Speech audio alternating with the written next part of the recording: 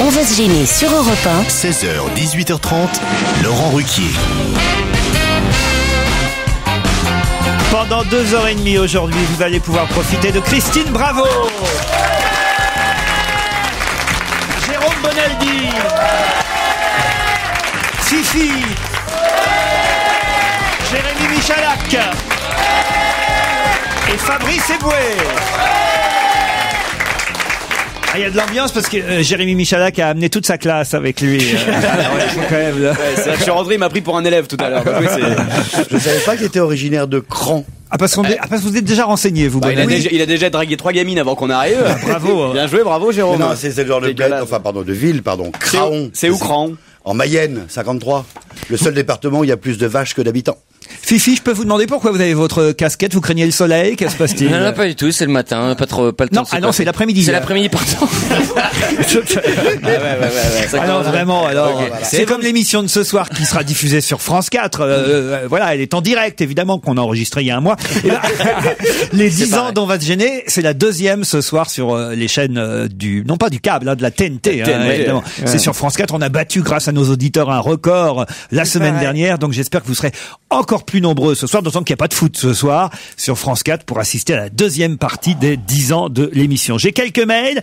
Christine, vous étiez absente les jours derniers. Et Robert, tiens, à vous envoyer un mail. Il avait remarqué votre absence. Robert. C'était pour dire. on sent que ça va être sexy. Ah ouais. Ça sent le chauffeur routier là. C'était pour dire à Christine que le 13 décembre, mes potes et moi, on fait grève. On va bloquer la France. On va bloquer la France avec nos 30 tonnes. Si Christine a envie de se taper une saucisse sur un brasero au bord de l'autoroute du Sud, c'est quand elle veut.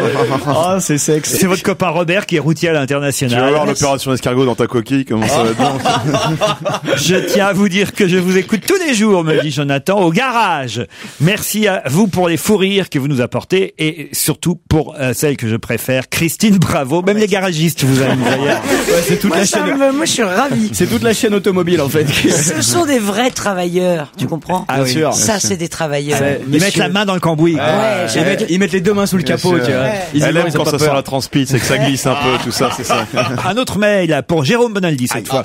Je trouve que Bonaldi la ramène beaucoup moins depuis que son copain Trébert est entre quatre murs. Il fait beaucoup moins le malin, me dit Patrick. Il a raison. En revanche, j'ai un autre mail qui me dit bonjour à tous. Je profite de l'accès internet de la bibliothèque de la prison pour vous transmettre toutes mes amitiés. Je suis un fidèle auditeur et lorsque je partageais euh, ma cellule avec Guy Georges, nous écoutions régulièrement vos émissions pour le plaisir de Fabrice Eboué. Je voulais remercier particulièrement Jérôme Bonaldi pour tout ce qu'il m'a apporté pendant mon colanta personnel en forêt de bonbons.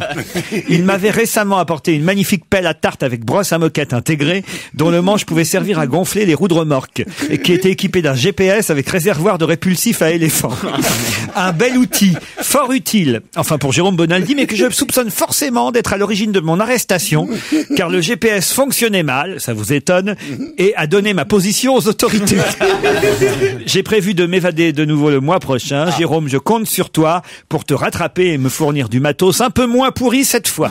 Sinon, je file ton adresse à Guy qui viendra s'occuper de Quelle horreur C'est là parce qu'il y a la professeure qui commence à regretter d'avoir ramené ses élèves, tu sais, elle commence à se dire, mais Alexandre tient à me dire que ça c'est plutôt pour vous, euh, Fabrice. Ah, c'est marqué Bonaldi. Et c'est pour prendre la défense de Jérôme Bonaldi, Ah. car MSI est le plus grand constructeur d'informatique mondial depuis 1986. On ne pouvait pas dire que c'était une marque de merde, comme l'a dit euh, Fabrice Ah, Eboué m'avais bien piégé, ouais. dans votre émission. Et j'ai plein de mails hein, concernant ça. Guillaume aussi, qui je vous écris pour réagir à l'émission de mercredi dernier. L'ordinateur présenté par Jérôme Bonaldi n'était pas fabriqué par une marque de merde. Je suis bien d'accord avec lui. En effet, la moitié du temps, il présente des trucs un peu à la con. Mais cette fois-là, je le défends car MSI est un fabricant reconnu de composants d'ordinateurs. extraordinaire, je fais les, les blagues les plus odieuses tous les jours sur des tueurs en série, des enfants qui meurent, et les gens réagissent uniquement parce que j'ai dit que MSI était une marque de merde. C'est vraiment, quoi. Parce que c'était injuste. Je vous envoie un mail pour marquer mon indignation, me dit Greg. La vie est trop injuste. Quand votre femme tombe enceinte, toutes ses copines débarquent pour la féliciter en lui caressant le ventre, mais aucune d'elles ne viendrait vous caresser la queue en vous disant bien joué mec.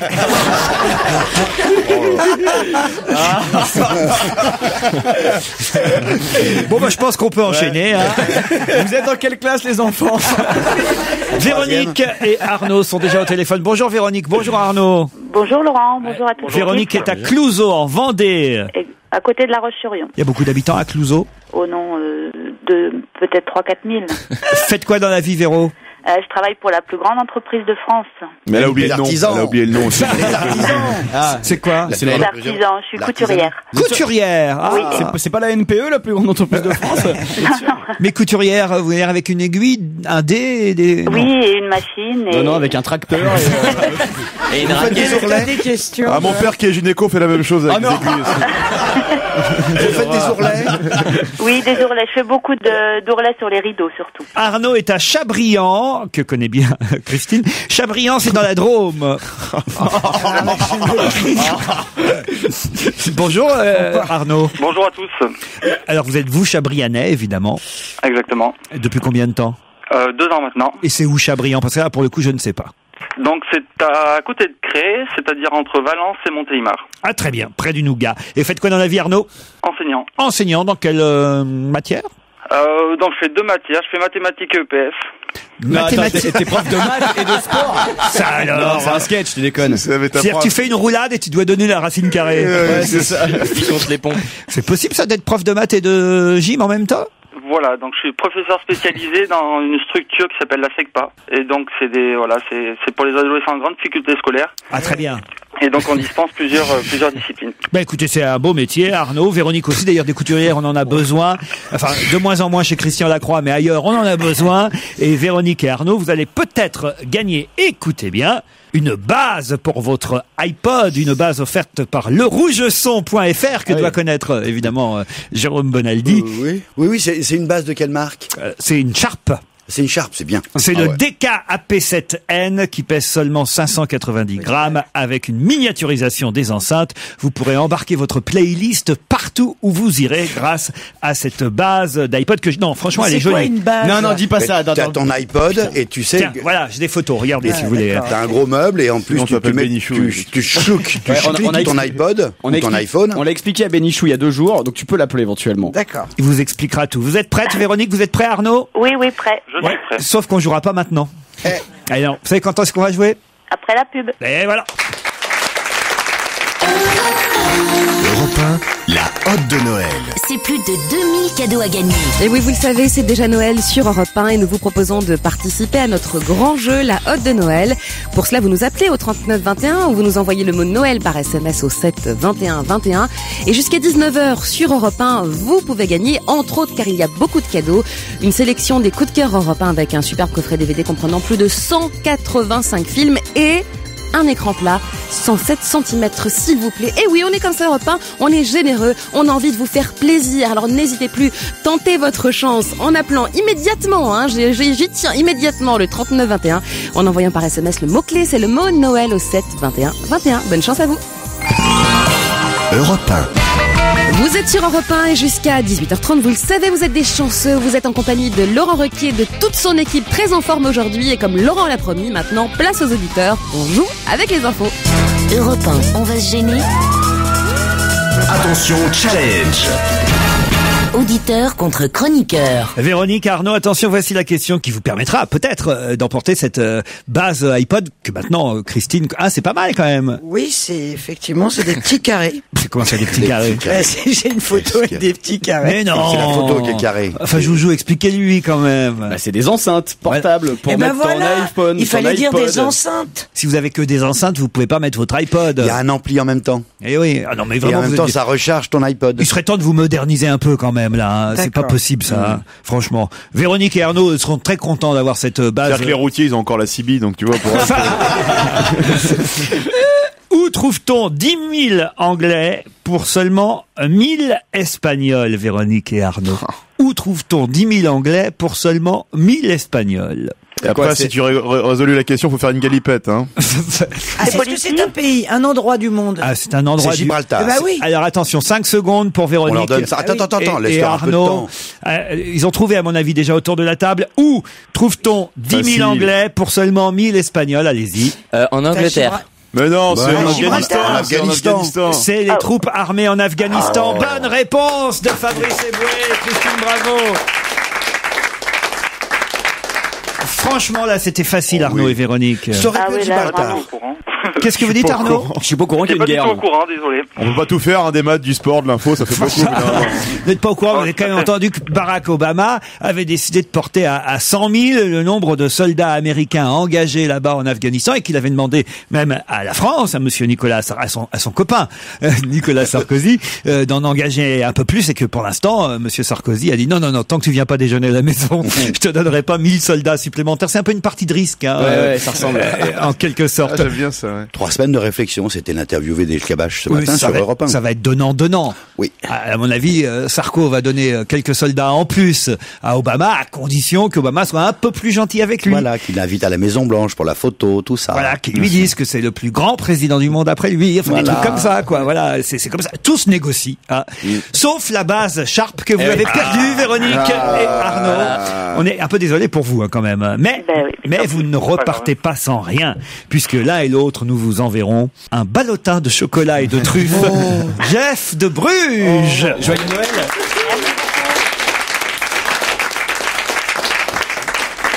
Ginette Moulin se rend régulièrement aux Galeries Lafayette. Quoi- Pourquoi vous riez Ah, Ginette Moulin. C'est Moulin. un gag. Non, c'est pas un gag. Ginette Moulin se rend régulièrement aux Galeries Lafayette. Mais pour faire quoi? Ben, pour travailler. C'est-à-dire Elle est dame pipi Euh, Non, elle est pas dame pipi. Ça non. fait nom de dame pipi, Elle est vendeuse Non, elle est pas vendeuse. Elle achète Non, elle achète pas. Elle est chef Elle est plus que chef. Elle est, Elle la a, elle patronne. a acheté les Galeries Lafayette. C'est-à dire, elle est donc, Elle est a- a- actionnaire elle a- elle a la principale. patronne. elle est propriétaire des Galeries Lafayette. Bonne réponse de Christine Bravo. Ginette Moulin. Non, non, on ne se moque pas. Parce que Brave Hollywood va peut-être rentrer aux Galeries Lafayette. C'est pas vrai. Ginette. Ginette Moulin. Ginette Eh ben oui, c'est la descendante du fondateur des Galeries Lafayette, Ginette Moulin. Elle a 81 ans. Ah voilà, c'est un nom à la ah, Zola. Elle qui avait profité du bouclier fiscal. Elle occupe le fauteuil de président du conseil de surveillance du groupe. Elle est d'ailleurs aussi euh, responsable et propriétaire du BHV, de Royal Quartz, des supermarchés Monoprix, détenus à 50% par, ce groupe, euh, la famille Moulin et, et c'est Ginette, euh, euh, et Elle a des enfants, des petits-enfants, parce que oh, euh, mariée. Oui, ah bon, on peut dire que Ginette Moulin brasse pas que du vent. Hein. Oh, ça suffit, suffit, c'est vraiment pourri tes blagues, à un moment ou un autre, quoi. Si tu loues juste pour faire de la merde, suffit, tais-toi, quoi, moi, même moi, je l'aurais pas osé, celle-là. J'avais prévu la chute en accusant Fifi, en fait, c'est ça, mais finalement, je me suis fait avoir à mon propre jeu. Voilà. Non, c'est vrai. Que ça, ça, fait pas nom de riche propriétaire. Ginette Moulin. Votre réaction, c'est dégueulasse, vous avez tout de Dame Pipi. Ouais, c'est Hein dégueulasse, Christine. Non, non, ça c'est pas moi. Ah si, c'est vous. Non, c'est Joujou. C'est toi, arrête. C'est Joujou. Mais non, comme, comme quoi, on peut réussir avec un nom à la con, c'est ça qui est important aussi, parce que c'est- il paraît qu'on est prédisposé par rapport à son nom. Mais enfin, t'as vu l'âge qu'elle a Si tu relis les, les bouquins de Zola, Au bonheur des dames, Paubouille, tout ça, c'était des noms. Bon, C'était d'accord, Sophie de c'était- l'époque. Excuse-moi. C'était des noms. Ah non, mais Ginette Moulin de l'époque, c'est Lindsay Lohan d'aujourd'hui, quoi. C'est pareil. Voilà, c'est ça. Ah, c'était moderne, Ginette Moulin, à l'époque. à mort. Je tiens à dire à la propriétaire des Galeries Lafayette qu'elle a dit à mort Ginette Moulin. non mais c'est vrai, vos petits t-shirts là vont être vendus aux Galeries Mais Lafayette. oui, peut-être, on a des contacts avec les galeries. Alors, que vous ne confondez pas, c'est pas les Galeries Lafayette des Non. fois. Donc, ça c'est Fifi ça. Ah ouais, moi je suis d'accord. À chaque fois qu'il y a une vanne, une vanne pourrie, c'est Fifi. Ok, merci. Je peux en faire des pourris aussi. Elles étaient deux jeunes filles et sur ces deux jeunes filles dans cette ville du euh, Michigan, Erin, une des deux a un mauvais souvenir de la séance de cinéma où elles se sont euh, rendues. Pourquoi Qu'est-il arrivé à Erin, cette Ah. jeune fille, quand elle a quitté la salle de cinéma du Michigan? Il y a longtemps? Oh non, il y a quelques semaines. Elles ont vu les bronzés 3. Non, non. Euh, Est-ce que ça a un rapport avec le film? Oui, c'est vrai. Ça a un rapport avec Un le film qui fait peur. Un film qui fait Paranormal Activity. Ah non, non, non, ça n'a pas Non. rapport avec ce film. Mais elle a tellement peur qu'elle est morte d'une crise cardiaque. Ah non, non, non, heureusement. Elle est jeune. Elle va mieux aujourd'hui. Elle est jeune. Ce sont deux adolescentes. Les, Voilà. deux, les deux jeunes filles euh, se sont euh, rendues au cinéma, à la salle de cinéma du, du, du Michigan. Enfin, il y en a peut-être plusieurs des salles Ah de bah, le cinéma. Michigan, c'est un, c'est un état des États-Unis. C'est ça, c'est je très disais. grand. Et, et bon, enfin bref, elles vont au cinéma dans le Michigan. J'ai pas le nom de la Ah, ville. je sais. Sa Ça copine était à côté d'elle. Elle a eu tellement peur qu'elle l'a- elle lui a fait Ah non, des non, non, non. de... Sa, co- sa copine, elle, elle lui a rien fait. Elles On ont- a besoin de connaître le film pour, Oui, pour, c'est vrai euh, que- Ah, Ah, tu vois. est-ce C'était- est-ce qu'elles ont l'impression de s'être fait arnaquer après avoir vu le film Oh, Ornaque, non, c'est pas le mot. euh, C'est le- un nouveau film. Oh, c'est un nouveau film qui Il vient sorti- de sortir qui est sorti il y a pas longtemps. This is it, this is it, Michael Jackson Non, c'est pas Michael C'était Jackson. une rétrospective sur Polanski Non, qu'est-ce qu'elles vont voir les jeunes filles en ce moment À Twilight 2. Twilight Twilight 2. Ah, c'est la petite nana Elle s'est fait mordre Elle s'est fait mordre dans le cou par un spectateur obsédé. Bonne réponse Alors c'est marrant parce que dès que j'ai dit euh, c'est le film que vont voir les adolescentes, vous avez tout de suite dit tout- Ah bah eh, oui. eh, votre fille non, est allée non, voir non, pas du tout. Elle trouve ça complètement débile. Quoi Euh, Ma fille est allée le voir immédiatement, elle va Bah voir oui, deux les, fois. les- Ouais, les- bah, les- c'est- les ados débiles vont voir ce, ce-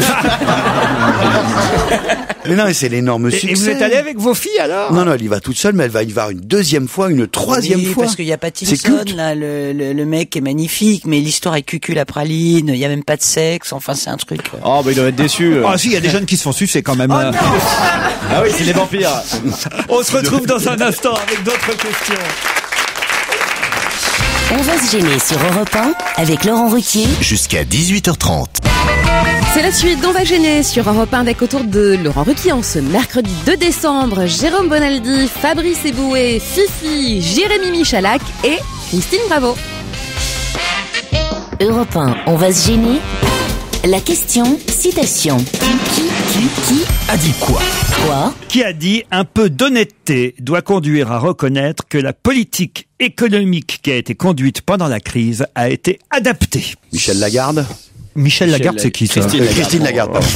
Excusez-moi. Non, parce que si vous parlez des gens de votre famille, Ouais, hein, c'est ça, il confond avec ses maîtresses, en fait. Il donne des noms. c'est pas possible. Christine Lagarde Non, c'est- pas Non, Langage c'est de quelqu'un de gauche, je pense, c'est quelqu'un de gauche. Ah bah, C'est ironique Oui, je rappelle la phrase quand même. Hein, qui a Marine Le déclaré Pen. un peu d'honnêteté, un peu d'honnêteté Un peu. doit conduire à reconnaître que la politique économique qui a été conduite pendant la crise a été adaptée. C'est Aubry, le... Hollande, Hollande, Non, Hollande. non, non, non. C'est à gauche, c'est à gauche. C'est pas à gauche. Alors Le Pen Non, C'est au centre, c'est au centre. Non, non, non. Ah donc, attends, un peu d'honnêteté, d'accord, c'est un mec du LMP. On s'en fout. Est-ce que c'est de Végian Non. Lefebvre Non. Un mec de l'UMP. euh, Actuellement au pouvoir Ah oui, oui, oui. Besson, ministre Besson Non, bah, à votre avis, qui Fillon, être Sarkozy Ben voilà, Nicolas Sarkozy lui-même Bonne réponse Il s'est envoyé des fleurs hier, Bonne réponse de. Jérémy Ah, Michalak. Parce qu'il fait que ça, de se... De, pas, tu peux de s'auto-célébrer. Ouais, c'est ça, c'est l'autocongratulation. de dire je suis le meilleur, rendez compte ce que j'ai fait, vous avez vu, je suis formidable, et, et ben voilà, et il dit un peu d'honnêteté. Ah, ça fait pas de mal. Euh, euh, et, et bon, en même temps, c'est vrai que la France s'en sort pas mal par rapport euh, aux autres pays, et pour, Bonaldi. et pour la modestie, on craint personne. Moi, j'étais énervé ce week-end en le voyant effectivement parler et parler notamment de la vaccination euh, des jeunes et, et avec des files d'attente de, de 4 heures. Oui, mais avec et un le peu mec, il a pas été euh, vacciné lui par hasard. Non, il a peur, il a peur des Si, piqûres. dans les il a peur premiers. des piqûres, il l'a dit hier. Ouais, ouais, il a pas été vacciné, si, tu si, penses dans les toi premiers. Dans les premiers. Dans les premiers, ouais. Et c'est normal, t'as des Français avec des enfants dans les bras qui font 4 heures de queue pour avoir ce normal. putain Il est- de vaccin. il est- il est président Comment de la ça c'est République, normal Christine. Il est président de la République. Oui, mais enfin, il peut peut-être euh, ra- raccourcir les queues. Quand il va en boîte. Ça, c'est un Déjà que d'après Carla, bon. Ça. non, écoutez. Et votre fille, alors, elle est allée se faire vacciner? Non, mais ma fille, elle fait partie, voilà, de la génération. Pas de vampire, euh, pas de piqûre, rien pour Elle votre veut fille. pas, gna gna gna, et il faut pas se faire vacciner, alors que oui, oui, oui, allez vous faire vacciner, nom de Dieu, c'est une épidémie. La grippe saisonnière tue les peur. vieux, donc Elle tout le monde s'en fout. Mais la, la, la grippe A tue les jeunes. Donc les peur. jeunes doivent se faire vacciner. Point barre. ouais. Mais je comprends qu'il n'ait pas envie d'attendre 4 heures dans des files. Mais t'attends 4 heures, faut les récupérer ton. Enfin, les jeunes, ils attendent bien 4 heures dans une file pour aller voir Mylène Farmer. Non, Ils bah, peuvent bien attendre ils 4 heures pour aller se faire piquer. On sent, que franchement. c'est- on sent que tu côtoies des jeunes très particuliers. C'est pas Non, justement, moi, je vais pas voir Mylène Farmer, mais je le sais. tu fais juste, tu fais juste la sortie du concert. C'est- par jouy dire. Sérieusement, c'est très difficile de se faire vacciner, que tu sois. Mais le oui. seul truc qui marche, c'est dans les écoles, tu vois. Ma fille dans, au collège, ça c'est, enfin à l'école maternelle, pardon, ça s'est fait. Alors dans les collèges, ça ne peut pas se faire dans le collège. Pourquoi? Chercher à comprendre, c'est comment Ouais, c'est les obéir. Et, et moi, je connais une femme enceinte, une copine, ben pof, elle fait une fois trois heures, une deuxième fois trois heures, une troisième fois trois heures. Fifi, vous êtes vacciné Euh, non, pas du tout. Mais moi, il y a un truc que je comprends pas. Quand ça a été lancé, je croyais que ça faisait un bide, en fait, le... Oui. Le vaccin. Il y avait Et- personne dans, il y avait un mec, que- je me rappelle, il y il avait il y a un mec. 3 millions de Français, donc puis- maintenant il y a que. C'est Oui, et puis il y a, il y a quand même juste deux ou trois morts par jour. Il y a une petite fille de 6 ans il y a deux jours, Ouais, il y a trois jours, il y a une petite fille de 9 ans. Mais au Donc si tu veux, des, en pleine santé, des enfants en pleine santé, ils avaient rien du tout. Et elles sont mortes, tac, comme ça, en 24 heures. Alors Ouais. ça a un petit peu fichu les pépettes. Ah, j'aime bien ton nouveau personnage, il est intéressant. Ah, ça se voit. Ce, côté Christian Clavier, là, je trouve, il est très intéressant, quoi. je prends des produits formidables.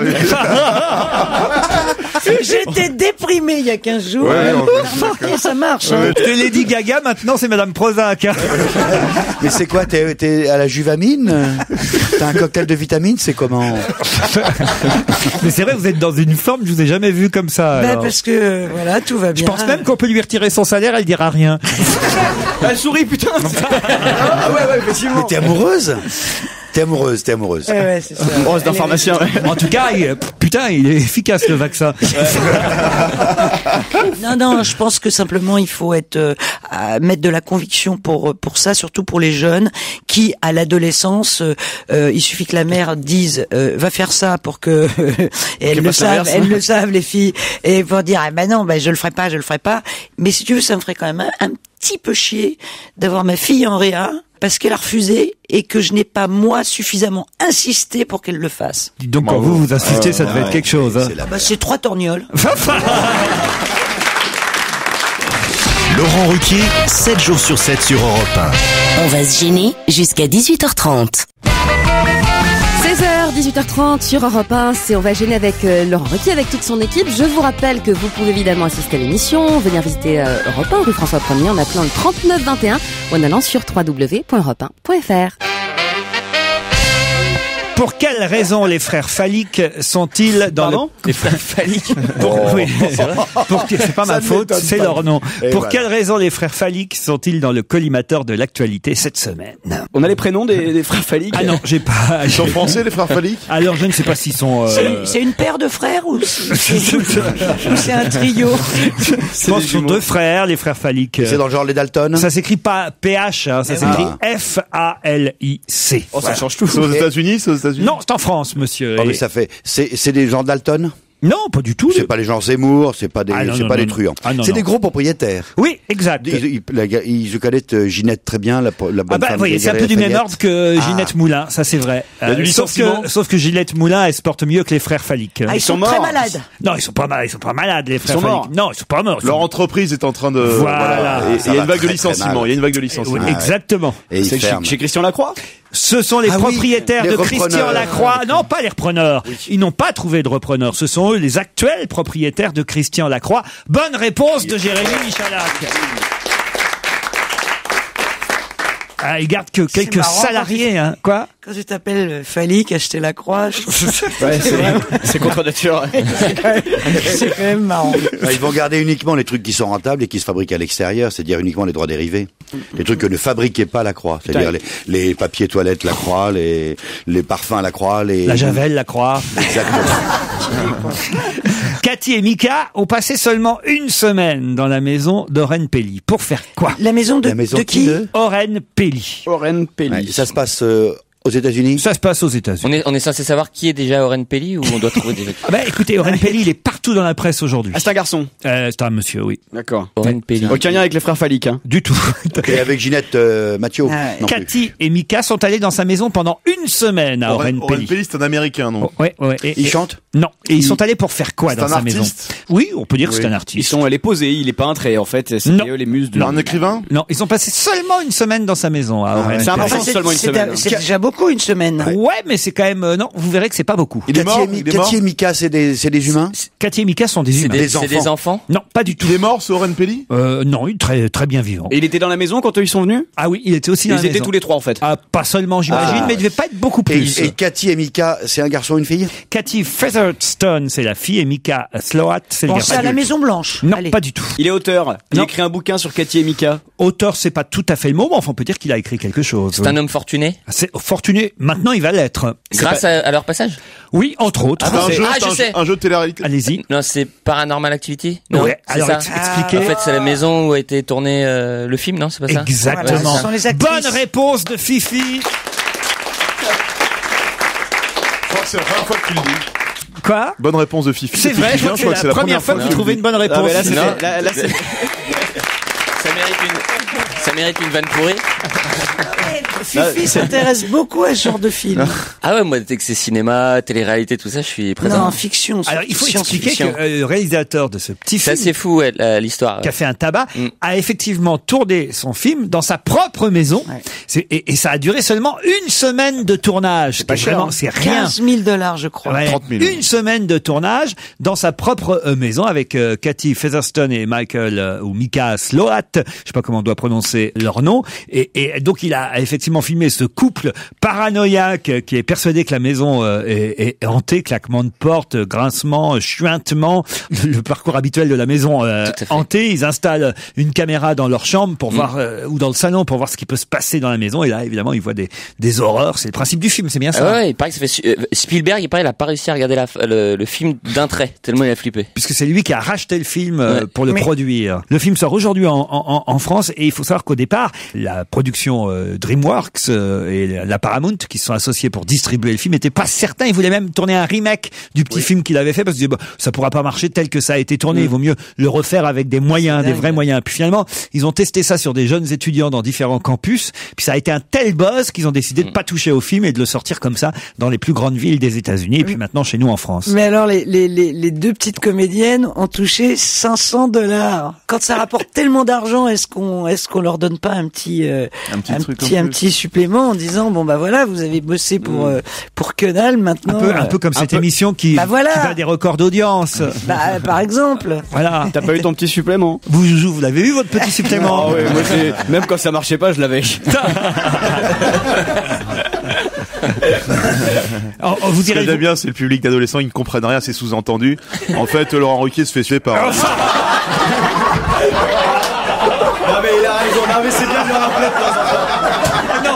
Ah non, non non, ça c'est pas possible alors C'est bien de le rappeler de temps en temps, c'est vrai. Non mais regarde, il y a le professeur qui est là qui, qui se dit, mais remarquez, vous n'aviez qu'à pas les amener non plus. Le professeur, il s'est déjà fait c'est aussi.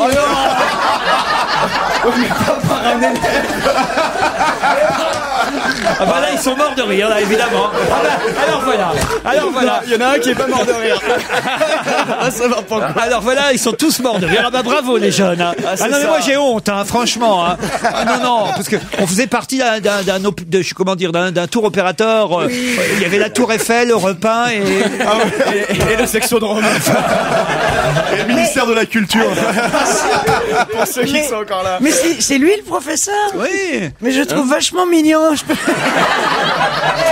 Continuez l'émission. Elle, elle- elle lui monte dessus, merde Il est inquiet. Putain, elle vient de saper son autorité pour les 5 prochaines années. Désolé, monsieur. Déconne pas, monsieur. ouais. Les MST des routiers, c'est sans pitié. Le prof, il va être remplacé la- dès la semaine prochaine. Qui a dit je préfère animer un jeu délirant plutôt que de présenter la météo ou de lancer des magnétos sur un fond vert? Euh, c'est Flavie. Flamand? C'est pas Flavie Flamand, mais presque. C'est une femme. Ah, Benjamin Castaldi. Attends, c'est dégueulasse. Non, mais attends. c'est- c'est pertinent, Comment quoi, ça c'est- presque Je préfère animer un jeu délirant plutôt que de présenter la météo ou de lancer des magnétos sur un fond vert. C'est le réunionnais, là, comment il s'appelle euh, Sébastien Follin. Sébastien Sébastien Follin. Follin. Ah bah non, il a fait ça lui la météo. C'est vrai qu'il le fait plus. Est-ce que c'est Shrek Shrek Oui. Ah là, il peut pas. Tex, Il peut pas. Tex, Presque. Sylvain, Sylvain Augier. Attends, parce qu'il a dit presque quel- pour Flavie Flamand C'est aussi. donc, quelqu'un euh, qui est moche Ah non, Est-ce que c'est quelqu'un qui présente actuellement des jeux Euh, et qui veut qui en a déjà présenté. Valérie Payet. Euh, Non, pas Valérie Payet. Oh, dites donc, vous vous souvenez de Valérie Payet On va dans les vieux trucs. alors. Valoche, t'as de belles loges, hein. Elle a travaillé longtemps à. Canal+. Elle a de belles loges. Mais enfin. Ah, C'est dingue ce que tu dis. Elle a Mais c'est c'est d'un machisme. Bon, est-ce que c'est quelqu'un qui présente la météo? Non, non, non, mais non, évidemment non, puisqu'il préfère animer des jeux délirants Oui, plutôt bon. que de lancer la météo ou des magnétos sur un fond vert. C'est un garçon. C'est un garçon, oui. Vincent Lagaffe. Non, non, non, non, non. Intelligent? Ah oui, qu'on aime bien. Reichmann. fait partie de l'équipe? Oui. Ah, C'est pas vrai. Voilà, voilà. Bénichou Non, mais enfin, Un jeu délirant. un jeu délirant, il serait délirant le jeu. Hein. ah Jérémy, Elsa Fayer. Qui ça Elsa Fayer. Non, pas Non, Elsa Fayer. Jérémy. Michalak. Non, Jérémy Michalak. Bonne Oui. réponse de Fifi. Putain, deux bonnes réponses. Je m'envole. Je m'envole. Il est prêt à tout pour faire de la télé. Quelle honte. Est-ce que c'est par rapport à son Quelle jeu de honte. comédie Oui, voilà, effectivement. Ah, parce que, c'est ça. euh, Le cul, Jérémy, c'est va, mm, c'est ça. Jérémy va animer un jeu qui s'appelle le Q, c'est mm. Ça a l'air très marrant d'ailleurs. Et on verra ça le samedi et le dimanche à 20h10 sur Comédie. Et évidemment, vous saviez que c'était vous qui aviez dit cette phrase. Euh, Bien entendu, mais c'est vrai quand tu dis Flavie Flamand, on n'est pas loin, ouais. Laurent Ruquier sur Europe 1, on va se gêner. 7 jours sur 7.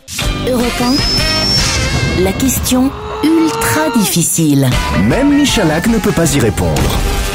Quel personnage créé par Elsie Chrysler Segar en 1929 a été choisi pour nous emmener porte de Versailles du 5 au 13 décembre prochain? Popeye. Oh, je sais, Popeye. Popeye, je l'ai dit avant, je l'ai dit largement. Oh là là, mais bravo, Popeye, bonne réponse de Fabrice Eboué.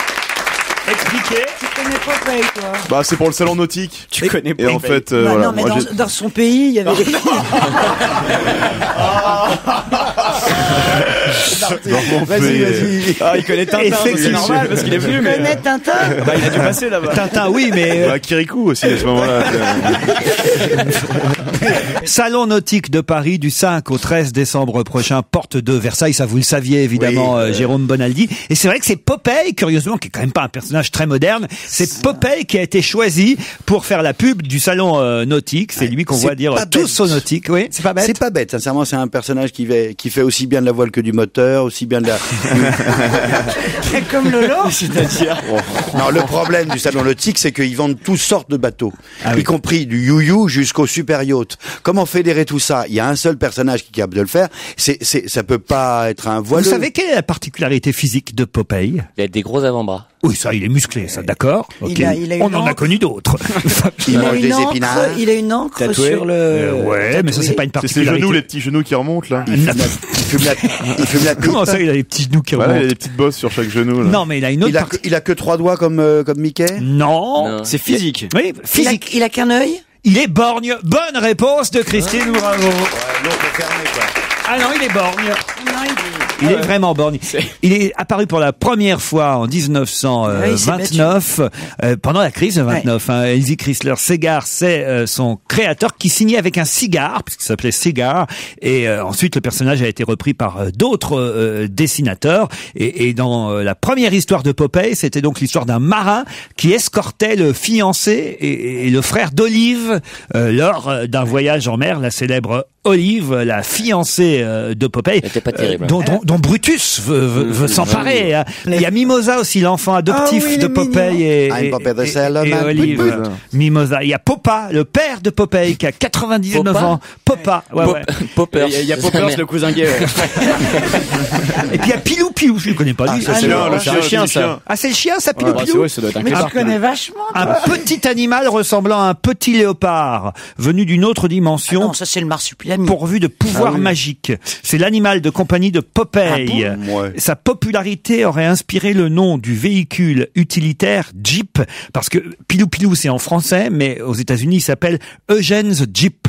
Ah. Et, et c'est de là que viendrait la fameuse euh, Jeep. Vous voyez l'importance de Popeye quand même dans. Moi, je crois qu'il y a une autre raison pour laquelle ils l'ont choisi, c'est que Popeye c'est libre de droit. C'est tombé dans le domaine public. C'est pas cher. Et Si, eh ben, je sais, j'ai le droit de faire des t-shirts Bravo Hollywood gratos avec Popeye, sauf que je m'en fous de Popeye, donc Mais je c'est pas le fais cher. pas. Mais Dis pas que c'est libre le droit, c'est pas cher. Elle va avoir un procès. ils vont- Elle ne savait pas, elle s'est Ouais, mal ouais, renseignée. peur que Elle est en train de le dire. Je me Elle va- demande- Ils vont lui réclamer 10 ans. Tu peux, Ouais. tu peux en faire avec Bob l'éponge aussi, vas-y. Ah oui.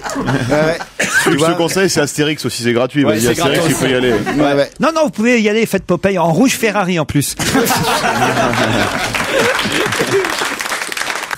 Car pour l'instant, on retrouve Laurent Requier sur Europe 1 en studio Merlin pour On va gêner.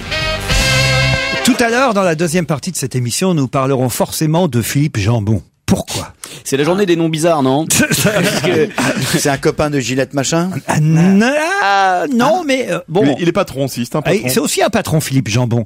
Philippe Jambon. C'est quoi, le patron de Madrange? Euh, Non, non, justement. Et, et- et forcément, forcément, entre 17h et 18h, nous parlerons de Philippe Jambon. pourquoi entre euh, à cette heure-là? Ah bah, Parce qu'il est toujours entre deux tranches horaires. Ah, parce que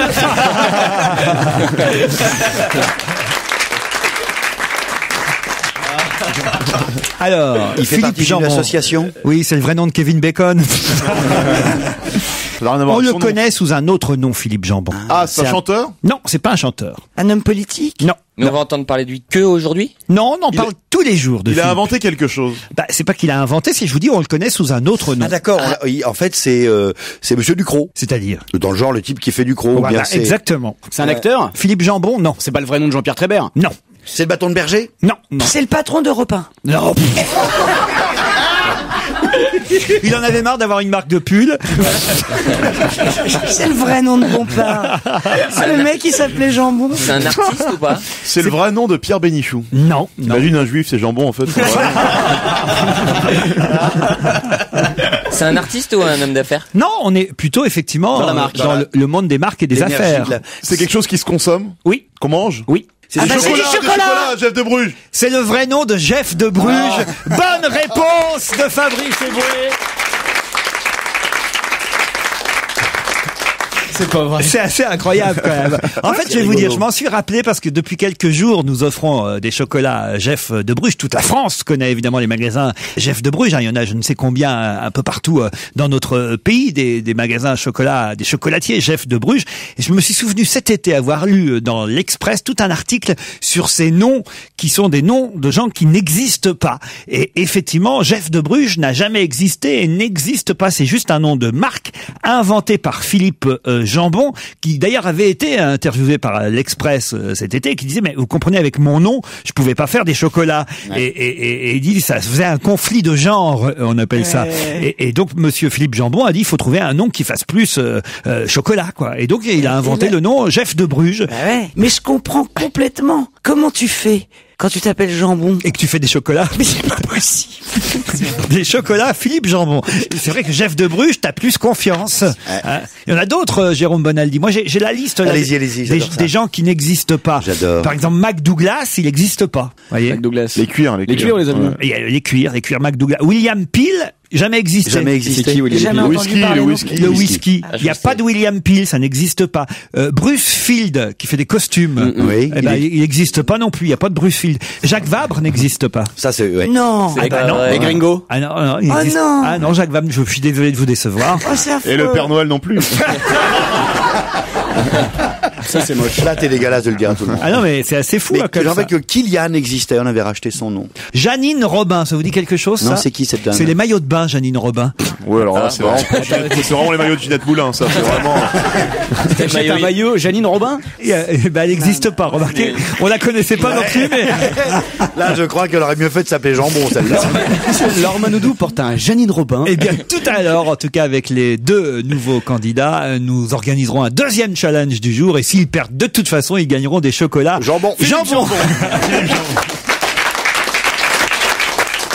16h, 18h30 sur Europe 1, avec Laurent Ruquier. On va se gêner.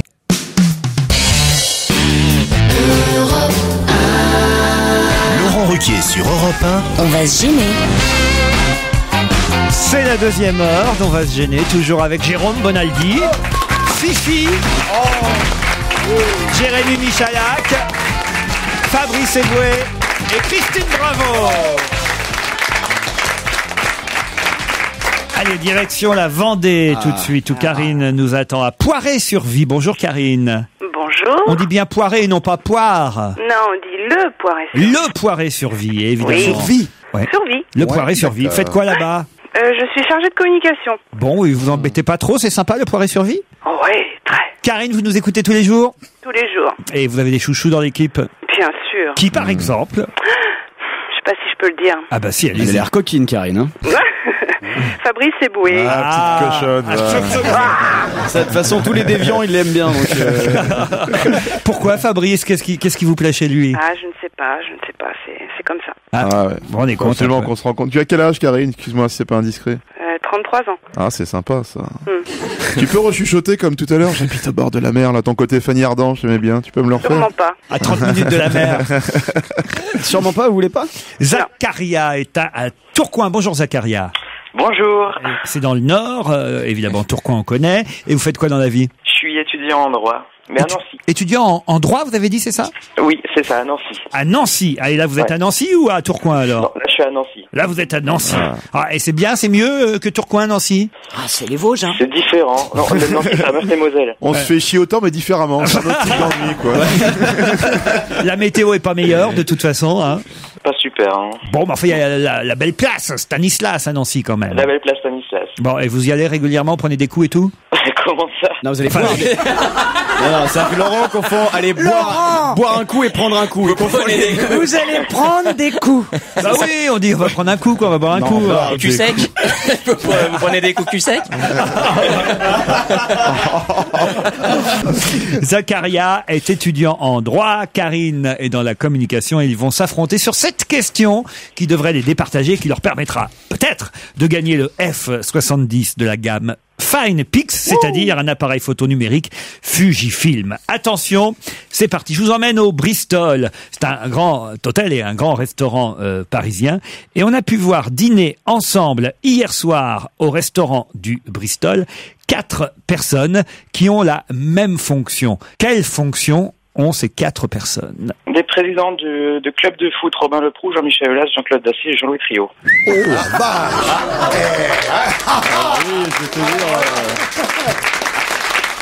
Je crois, je crois qu'il était à la table d'à côté. sûr. Il mangeait là-bas Il hier. y était. Ouais, il y était. en même temps, il est étudiant, il a un petit peu de temps. hein. Non, mais, euh, Oh, en plus, ça c'est vrai. Allez, un battle. Vous étiez au Bristol, Zacharia? Non, non, juste ce soir-là, j'étais au Fouquet's, mais... euh, je- Il est rigolo, Zacharia, dites donc. hein. Et- Rien que son Effectivement. prénom, il est rigolo. Qui est-ce qui vient de dire ça, là C'est Fifi. Fabrice Eboué. C'est Fifi. C'est Fifi qui a pas un prénom ridicule en plus. hein. Il- Bon, de toute façon, Il parle- Fifi, il est pas drôle, de toute façon. Une bonne réputation. Pour une fois qu'il l'était, merde alors. hein, En plus, euh, c'est pas gentil, Zacharia, ce que vous dites là. Attention, Zacharia. Attention, je peux, je peux tout de suite annuler l'appareil photo numérique. Moi, je suis d'accord. ouais, il faut donner quelque chose à, à Karine. Le F60, ah bah elle va gagner des chocolats Ouais. jambon. hein. Ah oui, c'est vrai. Ou Fabrice. Le F70 de la gamme Fine Pix avec son zoom qui grossit 10 fois, son objectif super grand angle, son écran qui occupe tout l'arrière de l'appareil.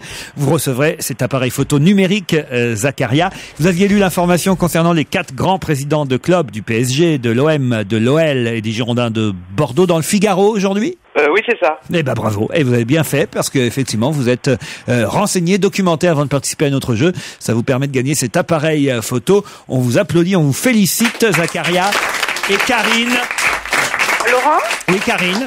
est-ce que vous pourriez me faire une petite fleur en m'envoyant le livre que vous avez écrit avec Claude Sarraute Ah, c'est difficile parce que là, euh, vous savez, maintenant là, au début, on les donnait quasiment, Oui. mais là maintenant, on est dans les meilleures ventes. Alors euh, maintenant, là maintenant, ça devient plus compliqué. Bon, allez, parce que c'est vous alors. Hein, Ah, vous avez pas de bébé. Hein, euh, Euh, Karine. Non, elles sont grandes, elles sont Ah grandes. bon. Il est vachement bien le livre. Je le dis Ouais. pas parce que c'est mon pote, mais vraiment, je l'ai lu comme un polar. Alors on fait une blague quand on envoie les livres, on arrache juste la dernière page, mais tu verras, c'est. Karine, euh, allez, on vous envoie effectivement avant que tu oublies tout paru chez Plan avec Claude Sarraute. C'est Merci, promis. Laurent. Europe 1, la hotte de Noël. C'est plus de 2000 cadeaux à gagner. Et oui, c'est déjà Noël sur Europe 1 et nous vous proposons de participer à notre grand jeu, la Hotte de Noël. Pour cela, c'est très simple, vous nous appelez au 3921 ou vous nous envoyez un SMS avec le mot-clé du jour, c'est le mot Noël au 7 21 21. Alors jusqu'à 19h, vous pouvez gagner, entre autres, car il y a plein de surprises pour vous. Un écran plat 107 cm, s'il vous plaît. Une sélection des coups de cœur Europe 1 avec un superbe coffret DVD comprenant plus de 185 films. En cette période de fin d'année, ça fait toujours plaisir de se blottir comme ça avec son chéri ou sa chérie devant un petit film. Ce sera un film européen. Donc tentez votre chance en nous appelant dès à présent au 3921 en envoyant par SMS le mot Noël au 7 21 21. Bonne chance à tous. Et nous sommes bien sur Europe 1, tous ensemble avec euh, Laurent Ruquier, avec ses complices du jour pour On va gêner. Ça se poursuit jusqu'à 18h30. Vous restez avec nous. On continue de s'amuser avec les infos. Europe 1, on va se gêner La question, citation. Qui, qui, qui A dit quoi Quoi Qui a dit les minarets symbolisent les terres d'islam et la France n'est pas une terre d'islam. Euh, Non, non, ça c'est euh, Marine Le Pen. Non, c'est pas Marine Bess- Le Pen. Monsieur Besson. C'est pas Éric Besson. Hortefeux. C'est pas C'est un Hortefeux. Suisse C'est pas un Suisse. Omar Sharif. Non. Tu peux répéter la phrase Ah, c'est facile la phrase. Les minarets symbolisent les terres d'islam et la France n'est pas une terre d'islam. Bah, N'importe qui peut avoir dit ça. Oui, mais c'est de pas droite, de droite. C'est plutôt droite. Français. Politique. Au, gouvernement? Politique. Au gouvernement plus. Maire de- maire de Bordeaux Pas Chirac. Un ancien du gouvernement, du précédent gouvernement. Du, du précédent gouvernement. Pas Villepin. Raffarin. Pas Raffarin. Non, non, Non. du précédent gouvernement Fillon en plus. Une Euh, femme. Yves- Yves Gégaud C'est une femme. C'est- Mais c'est Madame Boutin. Madame Christine Boutin, bonne réponse de Jérôme Bonaldi. C'est logique. C'était logique. Et oui, la présidente du parti chrétien euh, démocrate, euh, c'est normal, elle veut des clochers euh, quand on dirige le parti chrétien démocrate, mais elle veut pas de de de, de, De minaret. minaret. Bon, faut dire que je vois pas pourquoi on a déplacé euh, le débat sur la France alors que tout ça se passe en Suisse. Mais oui, parce que franchement. ça, parce que ça résonne chez nous. Quoi Parce que ça résonne chez nous, évidemment. Tout le monde se dit, et si le même référendum avait eu lieu en France? Mais oui, puisqu'il n'y a pas. Alors Bah oui. pourquoi et si et si et si et si voilà, il Ah, y en a pas. Franchement. Parce que c'est- il y a identification, projection. Enfin, c'est évident, c'est nos voisins, et voilà. En revanche, on en parlera lundi et mardi puisque nous serons à Montreux en Suisse. Nous ferons l'émission ouais. en direct et en public du minaret de Montreux à partir de 16h lundi et mardi et jusqu'à 18h30 lundi 7 et mardi 8 décembre. Donc, c'est Grand Rue au 95 Grand Rue dans la salle Miles Davis puisque il y a un festival de jazz célèbre. Je crois à- qu'ils veulent plus non plus faire de salle avec des noms de noirs, ils vont, ils vont changer aussi. Ah oui, oui, on va appeler ça salle euh, Michel Blanc, euh, Michel David. Enfin bon. Et, et nous y serons nous à l'occasion du 20e euh, festival d'humour euh, de Montreux et nous aurons aussi la chance de participer au gala d'ouverture de ce euh, festival donc lundi et mardi en Suisse à Montreux.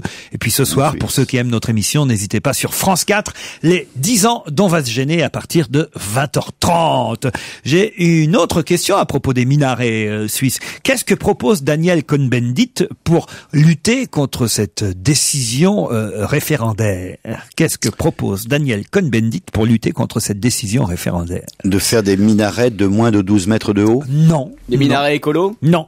Il a dit, euh, il a appelé, il a lancé un appel, le député européen Daniel Cohn-Bendit, il a dit, il faut que... On met des éoliennes On Non. a qu'à faire des minarets Non. éoliennes Ce serait des minarets déguisés, effectivement, ce serait une sorte Non, de... non, non, c'est pas directement lié au minaret, c'est lié au vote contre les minarets. Que les enfants viennent faire la prière chez lui? Non, non, Que- Oh, non. Que les Non. Suisses aient- n'aient plus le droit de vote ou un Non, truc comme ça ah non, mais voilà, on est plus dans, c'est- on est plus De dans faire une loi européenne non, supranationale Non, non, non, non, le député Cohn-Bendit, député européen, a demandé hier. Alors, C'est que- un pays neutre, la Suisse. Oui. Donc, est-ce que ça a un rapport avec ça? Non. De bombarder la Suisse? Non. Pas radical. De plus y aller et faire du ski non, ah, mais on se rapproche. Voilà, euh, boycotter, boycotter. les chocolats Oui, mais qu'est-ce, non, non, mais alors. Boycotter Les fromages, les fromages Non, mais Les églises, de mais boycotter les quelle est la églises. particularité de la Suisse Les banques. Le vin Alors. Donc, bah, Ah de bah. plus, de plus aller mettre son pognon dans les banques oui, mais suisses. qui, qui les, Les Saou- les riches. Saoudiens, les gens, les gens, les musulmans Arabes. riches, les riches musulmans. Exactement. Bonne réponse de Jérémy Michalak. Daniel Cohn-Bendit a, a demandé hier que les plus riches des pays musulmans retirent leur argent des banques suisses. C'est vrai que ça leur ferait, euh, ça, leur, ça leur ferait passer l'addition quand même, hein, parce que là, d'un seul coup. Euh... Oui, est-ce que les, les, riches saoudiens vont l'écouter Ils vont suivre ces. Je suis pas sûr. Je suis pas sûr. Parce que s'ils vont quand même dans les banques suisses, c'est parce qu'il y a des raisons de discrétion, de sûreté, de sécurité, des typiques et caractéristiques des banques suisses. Il y a un deuxième référendum hein, qui se prépare en Suisse, c'est de remplacer les minarets par des miradors. Mais on n'en est pas si rendu. 16h-18h30 sur Europe 1 avec Laurent Ruquier. On va se gêner. Europe 1, on a la recette pour égayer vos après-midi. Vous restez jusqu'à 18h30 avec nous. Vous écoutez Laurent Ruquier. Europe 1, on va se gêner. La question culture générale. Bah oui, il en faut. Ah oui, un peu de culture dans cette émission aujourd'hui, ça ferait un peu de bien. Alors je vais vous demander quelle édition originale a été vendue 775 000 euros, un record mondial, il y a quelques jours. Est-ce que Euh, c'est Quand Français je dis même quelques jours, c'était hier. Français Ah, Hier à l'hôtel Drouot. c'est lié à Baudelaire C'est lié à Ah Baudelaire. bah ouais, bah C'est les fleurs du mal, peut-être Voilà. euh, Bonne réponse culturelle de Fabrice Eboué. Les Fleurs du Mal de Charles Un euh. Baudelaire, vendu à 775 000 euros. Vous avez lu Les Fleurs du Mal? Bon, on connaît par cœur. les Ah ouais? Topi, Alors, les- topi, topinette. euh, Christine, on peut considérer que c'est une des plus belles Ah œuvres. ouais, c'est magnifique. ouais. Alors là, il faut se faire vacciner contre la grippe A et lire euh, Baudelaire. Vous êtes capable, vous, de me citer du Baudelaire, euh, Pas du Christine tout. Non, Non, rien. non, Fifi Pas du tout. Non plus. Ah, pas du tout, non. Ah, vous, vous, c'est Secret Story c'est- Absolument, ouais, FX, Kevin. Ses ailes de géant l'empêchent de marcher, ça te dit rien Ah, ah Bonaldi. euh, L'albatros, tu sais, ses ailes de géant l'empêchent de marcher. Le puisque la poésie ne vous plaît pas, tant pis. Je pars direction un lifting mammaire qui lui a coûté a coûté 1318 euros. Pourquoi parle-t-on de ce lifting mammaire qui a coûté 1318 c'est- euros? c'est Noël, sur- ma c'est mère fait- Non, Non, parce non. que c'est fait sur des chiennes, c'est ça Sur une chienne. C'est-à-dire Non, pas expliquer. une fille, hein, enfin des vrais animaux, des chiennes, des chiens. C'est-à-dire expliquer. Euh, C'était une chienne qui était fait- à la SPA et qui n'arrivait pas à trouver de, de prêt, de gens pour la prendre, pour l'adopter, parce que elle avait ses mamelles qui, elle avait allaité beaucoup et ses mamelles tombaient par terre. La patronne de la SPA locale, dans un grand élan de générosité, dit on va lui faire comme pour les femelles humaines, un lifting. Comme les- Oh, les T'appelles ça femelles les, humaines. les femelles humaines. Des femmes, dites des femmes. Des femmes Oh, les Ouais, femelles femmes. humaines. Ce mec est quand même très bizarre. hein. Donc, femelle humaine. C'est des produits de consommation pour lui. Mais tu renifles derrière de ta femme avant de la baiser ou pas Le pire, c'est qu'ils font ça dans la rue. Opération chirurgicale, je crois que c'était une épagnole ou un truc comme Non, ça. deux femelles labrador, à qui effectivement elles ont ensuite été adoptées grâce à ce lifting mammaire. C'est une bonne réponse de, de Fifi, Fifi. la troisième. Elles ont été adoptées grâce à ça. Exactement. Donc Et faut, faut pas qu'Ophélie Winter perde espoir. Hein. Bien preneur. hein. C'est dans un refuge britannique. Hein. Ça se passe pas en France. euh, que effectivement la directrice de ce refuge a offert à ces deux femelles labrador un lifting mammaire qui a coûté quand même 1318 euros. Après des années de reproduction excessive, elles ont eu des tas de petits chiots euh, labrador. Elles avaient la peau des mamelles qui s'était un peu euh, euh, distendue, vous voyez, un peu comme Angelina oui, oui, Jolie. on sait ce que c'est. Et, au point de toucher le sol. Ouais, bon, Ça, c'est quand même assez rare chez les f- chez les femelles humaines, comme vous dites. euh, Bah, c'est- Les genoux, oui, mais pas parmi. Matisse, si un jour il arrive. euh, non, mais- Non, mais Geneviève de Fontenay, il était arrivé ça avec son mari, j'avais entendu, ils étaient tout nus chez eux, et son mari est arrivé, il a dit, ah Geneviève, j'ai une blague, elle, elle va tellement te faire rire que tes seins ils vont tomber par terre. Après il a regardé, il fait, ah, je te l'ai déjà raconté. Ah si, elle est pas mal. si, si, moi j'aime bien. alors donc, en tout cas, ces deux chiennes vont mieux. Elles ont trouvé une famille d'accueil euh, aujourd'hui. Mais alors, c'est assez curieux. Je voudrais voir le, le- le chirurgien qui opère euh, les deux femelles labrador. Ça doit être quelque chose quand même. Dans la salle d'attente entre Amanda Lear et Ophélie Winter, effectivement. c'est quand même bizarre, non? Vous avez toujours vos petits chiens, vous, Christine? Tu sais bien que Pépito est mort. Pourquoi tu remues le couteau dans la plaie? Ah non, mais il vous en reste un quand même, ou une? reste Ouais, Pépita. mais elle va bientôt mourir aussi. Pépita? Je sais pas, je veux porter la poisse, tout le monde meurt autour de moi. C'est pour ça que vous êtes de bonne humeur.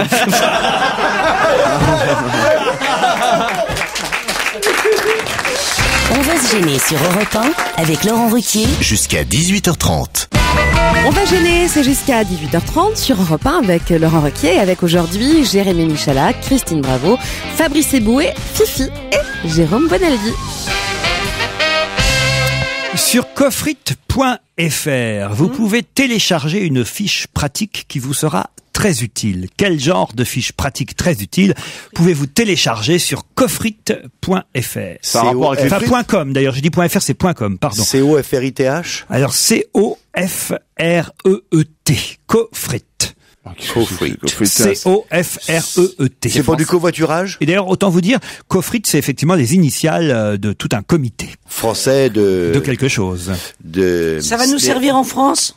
Ah, ou partout, partout dans le monde, mais là, c'est, il se trouve que c'est en France. C'est un truc écolo? Écolo, non, pas spécialement. Ça se télécharge? Alors, c'est vous téléchargez cette fiche. Après, cette fiche, vous la gardez. Vous pouvez même l'afficher quelque part. Ça vous sera utile. Don d'organes. Non. C'est médical, c'est médical? Non, du tout. C'est euh, Un permis Un permis du tout. une photo de Nicolas Sarkozy en cas de Non, vérification non, non, non, d'identité. C'est une fiche qui va nous servir au niveau international. Non, du tout. C'est des faux permis de conduire Non, non plus. Uniquement en France, ça sert Euh, euh, chez vous même. Ah, c'est Ah, chez moi. C'est à la maison. Ton Ouais. diplôme, non Pas- Ça- Non, pas un Les diplôme. numéros d'urgence Non, du tout. C'est pour rencontrer des gens, Non euh, plus. pour les célibataires. C'est pour cuisine. faire les économies d'énergie. Je sens que je tiens une bonne question. Vous voulez que je vous dise Non mais c'est pas le fameux site euh, qui permet les aventures extra-conjugales. Du tout. C'est des, des alibis Non plus. C'est pour lié les- aux relations amoureuses ou pas? Encore moins. Encore moins Non, enfin encore moins. Pas du tout non plus. Ça fait gagner de l'argent Ou ça fait économiser de l'argent Non plus. C'est pour trouver un travail? Enfin, indirectement, de façon Ouais. lointaine, mais enfin, c'est là, je vais vous mettre sur une fausse C'est de la piste. cuisine. Non plus. C'est Pour religieux Même si ça peut arriver que ce soit dans la cuisine. C'est du ménage. Du ménage, on se rapproche. Et je la sortirais comme ça, c'est une liste que, que je compulserais une fois par jour. Euh, je l'afficherai, moi, je serai vous. Sur le frigo Sur le frigo, tu la mettrais Pas sur le frigo. Sur le four Non. Sur la C'est pour le machine à laver. ménage, pour le ménage. Oui, le- Ça- Sur les pro- sur le, au sens large C'est du le ménage. placard, Ah, le c'est- placard c'est à contre produits. les insectes. Du tout. Un état des lieux de chez soi Non. Je veux dire, le- Le placard où je mets tous les détergents. Non. Non. L'assurance. Mais vous pouvez le mettre Ah, là. le- l'armoire à pharmacie. Non plus. Non, dans la cuisine. Le ménage. Enfin, non, j'ai pas dit dans la cuisine. Ouais. Il se trouve que chez moi, c'est dans la cuisine, mais c'est pas souvent dans la cuisine. C'est, c'est... Ah, c'est un dictionnaire français-portugais Pour la femme de ménage. Je sais ce que c'est, ce que t'as toi chez toi dans ta cuisine. Ah oui? Tes chiottes Non. Mais non, il a un Euh, évier. Ta machine à laver.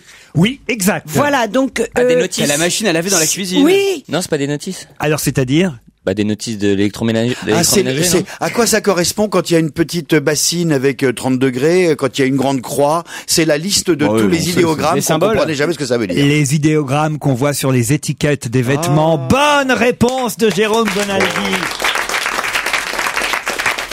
Ceci dit, c'est pas con parce que c'est incompréhensible. Lavage, blanchiment, séchage en tambour ménager, repassage, nettoyage à sec, les indications de température indispensables pour assurer un bon entretien. Tous ces symboles qu'on peut lire euh, sur les étiquettes dans le cou de vos pullovers ou de, Et là, tu de- les auras sur une fiche. une fiche que vous pouvez En- télécharger. En quelle, en quelle langue? Parce que moi j'ai un philippin chez moi alors. C'est bien parce que en plus de voler les droits de Popeye, maintenant on sait que tu emploies des gens sans papier, donc c'est intéressant. En tout cas, sur cofrit.com, vous pouvez télécharger cette petite euh, notice qui vous donnera les, les, les symboles des étiquettes de vos vêtements. Ça veut dire quoi, coffrit C'est les initiales de quoi alors? Comité français de l'étiquetage pour Oh, l'entretien des textiles. Ah ouais, Il y a un ouais. comité français des Ça, ça doit passionner Jérôme, ça. Europe 1, on va se gêner? Do, ré, mi, fa, si, liado. Bonjour Serge. Bonjour Laurent, salut à tous. Le Bonjour, jeu Serge. du poète poète est de retour aujourd'hui. Ouais, Hein et je ne suis pas mécontent. C'est vrai, ah, il y a huit, huit extraits et il s'agit de retrouver un mot, un seul mot, le même mot caché à chaque fois par un poète poète. Par un poète, poète, c'est plutôt une expression aujourd'hui. Hein. Ah, c'est comment ça, c'est-à-dire une expression Un, ben, un groupe de, de, de trois mots. Deux mots, quoi. Ah, c'est trois mots alors en fait, Ouais. Euh, une expression de trois mots euh, qui se cachent derrière les poètes poètes dans les huit chansons qu'on va entendre. On entendra entre autres Anne Sylvestre, Bourville, Calogero, Céline Dion, Elmer Footbeat. Quelle est cette expression qui se cache derrière le poète poète de Serge Liado? Les glands, attaquer un gland, c'est du sérieux. Faut prendre son temps, pas être nerveux. Des petites pichenottes sur Y a un petit vélo sur le qui me chatouille. Les fleurs, je les vois, c'est pas nécessaire que je les cueille. Deux papous gentils comme tout s'endorment sur un lit de fleurs en se frottant le Pourquoi ne viens-tu pas t'étendre comme au temps où nous étions enfants? Le froid l'âme tendre, tout s'est envolé avec toi. D'un sourire, lâche-moi le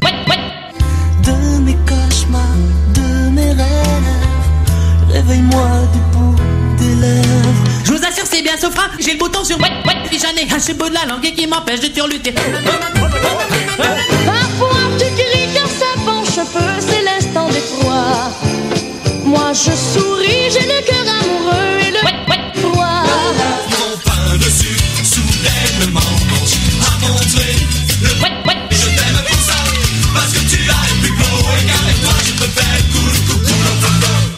Ah c'est pas facile.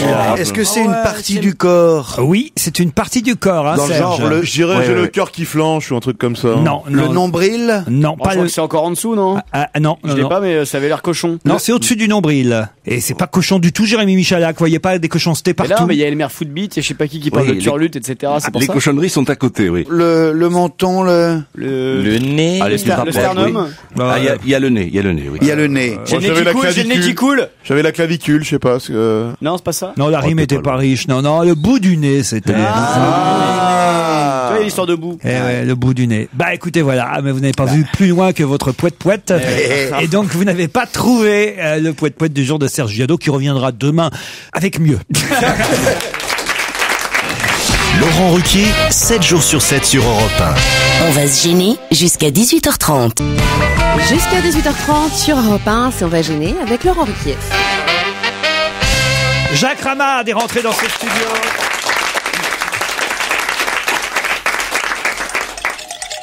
Oh, elle marche de moins en moins bien, la, la poète poète là. La... Ça sent la retraite bien méritée.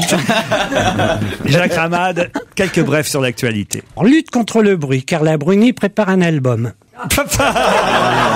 Ah si, elle est courte mais elle est bonne. Économie d'énergie. Nicolas Sarkozy ne bougera plus qu'une épaule quand il ouvrira la bouche. Chirac chez Michel Drucker, on a rouvert les rétros du cœur. Patrick Sébastien annonce la création de son mouvement politique à la télévision. C'était le bêtisier de fin d'année en avance d'un mois. D'accord. Prime de victoire pour les footballeurs de l'équipe de France. Thierry Henry a été payé de la main à la main. Raymond Domenech défie la médecine. Ça fait six mois qu'on prend en grippe, on n'en est pas encore vacciné. Violence faites aux femmes. Bernadette Chirac a écouté son mari pendant quatre heures d'affilée chez Drucker. Référendum suisse. Les minarets, non. Les milliardaires, oui. Ségolène Royal et Vincent Payon ont fait leur mea culpa ensemble. Ils ont dit, notre bévue a été royale, alors maintenant payons.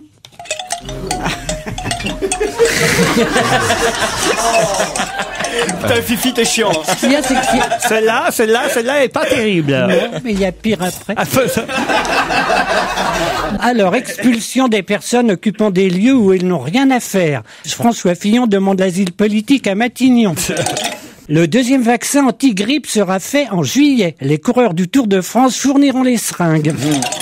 Les innocents sont en tournée. Chirac et Pasqua seront le 12 à Fresnes, le 25 au Baumettes et le 31 à la centrale de Clairvaux. Le grec ancien revient dans les programmes. Moustaki demande des droits d'auteur. Les cassettes de Johnny ont doublé. C'était un le matin. Maintenant, c'est deux le soir. Maïté vaccinée dans la cuisse. On n'a pas retrouvé la seringue. Oh, non Ah, non Monsieur et Madame Naret, jeune personne, ont un fils, Lémi. Lémi Naret, jeune personne. Simplification de l'orthographe. La suppression de l'Y dans Ramayad a été demandée par une personne dont le prénom est Jacques. une chanson. Ah oui, une chanson. Alors, c'est sur DSK. Très bien. Sur l'air de Il y a de la joie. DSK, ce sont trois lettres à l'émeraude de DSK. C'est un message qu'on envoie DSK. Ça se délivre comme un code DSK et tout s'arrangera de saint saint DSK. Pour le PS, c'est une aubaine car il a l'avantage de ne pas être là, c'est ingrat.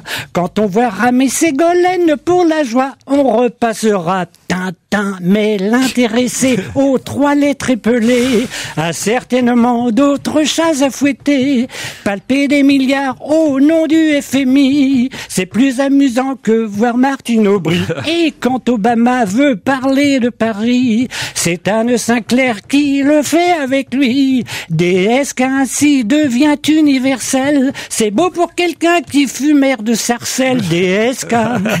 En 2012 sera peut-être candidat pour l'Élysée si c'est le cas. Alors là, pour Sarkozy, c'est plus trois lettres, c'est un lait, être qu'il dira soin soin. Jacques Ramad Laurent Ruquier sur Europe 1, on va se gêner. 7 jours sur 7. Retour au studio Merlin d'Europe 1, on retrouve Laurent Ruquier avec ses complices, avec notamment le monsieur Géo trouve tout, monsieur Jérôme Bonaldi. Europe 1, on va se gêner. Quoi de neuf, Jérôme? Quoi de neuf, Jérôme Et quand est-ce qu'on mange? C'est la question de Christine Bravo, Bon, alors, qui veut savoir si vous avez apporté au moins des choses Oui, alimentaires. des choses géniales. Tu connais la cuisine moléculaire, tu sais faire un adria qui fait des trucs avec des billes, tu vois, tu mélanges des produits et ça fait. Bon, c'est difficile à faire chez soi. Heureusement, Monsieur Monin est arrivé. Monsieur Monin te propose en petite pe- petite boîte, euh, petite euh, conserve, des, des, des petites billes comme du caviar, des grosses billes comme des œufs d'esturgeon. Voici cocktail perle. Goutte, goutte, c'est génial. C'est en fait en avant-première de- du CIAL, tu sais, le Salon international de l'alimentation, qui aura lieu dans un an seulement, mais il prépare déjà les bouches, les appétits et les papilles, de façon à vous faire saliver à l'avance les- les sur les produits. Voilà. Donc, c'est, tu sais, c'est Mais c'est quoi ces billes-là? Eh ben, c'est, c'est des billes. Oui. Comme du caviar. Oui. Quand tu les croques. Mais est-ce que c'est du caviar? Ah non, c'est Ah pas du caviar. quoi? Tu crois Ça- qu'il nous les filerait Mais c'est, Mais c'est quoi alors Quel goût c'est de ça? l'algi- Et dedans, tu mets le produit que tu veux. Par exemple, tu mets du jus de citron et tu mets ces petites billes sur des sur des huîtres. Ça fait tu vois, quand tu manges lui, c'est une, une explosion de saveur dans ta Ah, mais bouche. ça- c'est un assaisonnement, quoi. alors, mais regardez les boîtes, donnez, donnez boîte au chef, goûtez. C'est malin, il y a tous les goûts possibles et imaginables. C'est nul ça, Bonaldi. Non, parce que nous on voulait vraiment des trucs bons à manger, vous voyez. c'est ça, ouais. Hein Des trucs- Euh, Bonaldi, mais rien qui, qui, qui soit agréable à manger plutôt Alors, que ces billes de j'ai- merde. j'ai- J'ai des. Non. J'ai ah oui, alors, dans le genre, j'ai ça. Un yaourt. Ah. On a fait tous les possibles, tous les tous les yaourts possibles et imaginables. Je vous donne celui-là. Vous vous rappelez les pommes d'amour? Ouais. Les pommes où on les trempe dans le sucre et ça fait une C'est pomme nul. toute rouge. C'est nul. Eh bien donc voici un yaourt nul fait par Mamie Nul Nova Nul. le yaourt gourmand goût de merde. pomme d'amour. Ah, attendez, ça du- je veux bien Non, goûter. mais c'est pas les yaourts dont je parle, c'était trucs, là.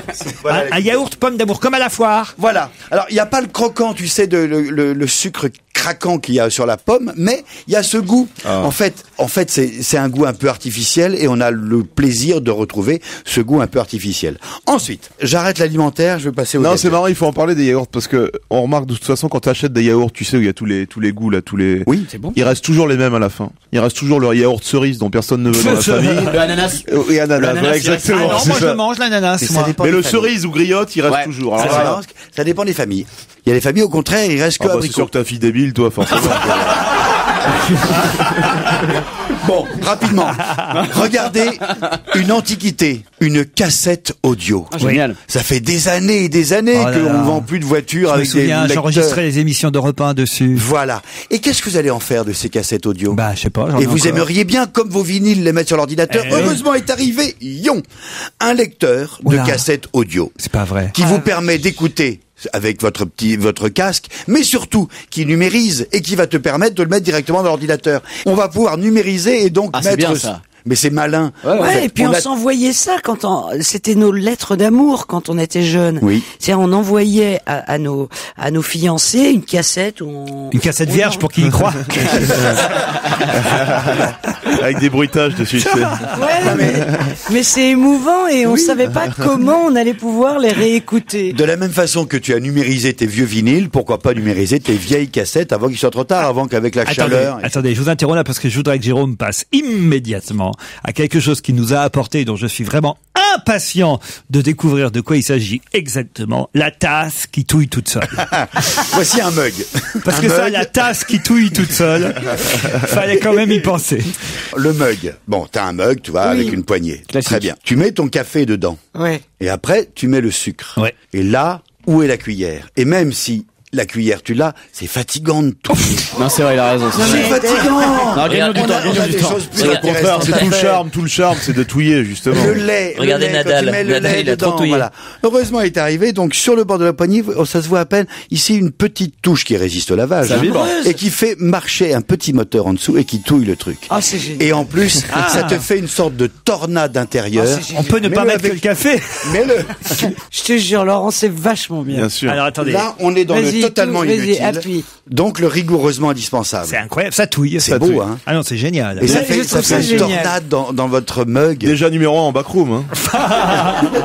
ça sert rigoureusement à rien. Ça se C'est vend où, ça, la tasse qui touille sur euh, Pearl, vous savez le même site toujours pearl.fr, le site de vente Ah non, de c'est gadgets marrant. Ah, c'est pas mal, ça on dirait un tourbillon Est-ce que ça fait mousser le lait quand tu... Ça peut quand tu mets pas trop de lait dedans. Ça peut faire une sorte de cappuccino. Ah, non, c'est vraiment con. Un dernier truc, les pinces à drap. Comme ça, les pinces à drap. Moi, j'aime bien. Si, attends. Là, on parle pas. Peut-être pas. Ça fait rire Jacques Ramad, en tout cas, les pinces à drap. On se demande qu'est-ce qu'il va nous Parce qu'on connaît les pinces à mères de vélo. famille, les mères de famille qui ont des lits avec des enfants, d'accord Qui gagnent Et déjà un peu de temps parce qu'elles ont pu attouiller. Voilà. C'est des lits de 120, des lits de 140, des lits de 2 mètres 20, et, à la- et- et après on range les draps dans l'armoire et on sait pas si c'est un lit de 120 et personne ne sait. c'est- Il faut d'abord l'ouvrir le drap pour savoir si ah zut c'est Bon, pas le bon, etc. c'est pas l'invité mystère Voici, non plus. c'est- les attaches un petit peu comme il y a sur les bretelles, tu sais. Simplement à la place d'avoir la bretelle elle-même, il y a marqué un petit bout de tissu marqué housse de couette de 140. Lorsque tu prêtes ta maison, lorsque les copains arrivent, ils disent ah bah tiens voilà et là c'est une, toi, une petite pince ah bah ça c'est lui de 140. C'est pratique. Ça c'est un lit de 120. C'est tout bête, personne n'y avait Ah pensé oui, avant. Non, je suis d'accord.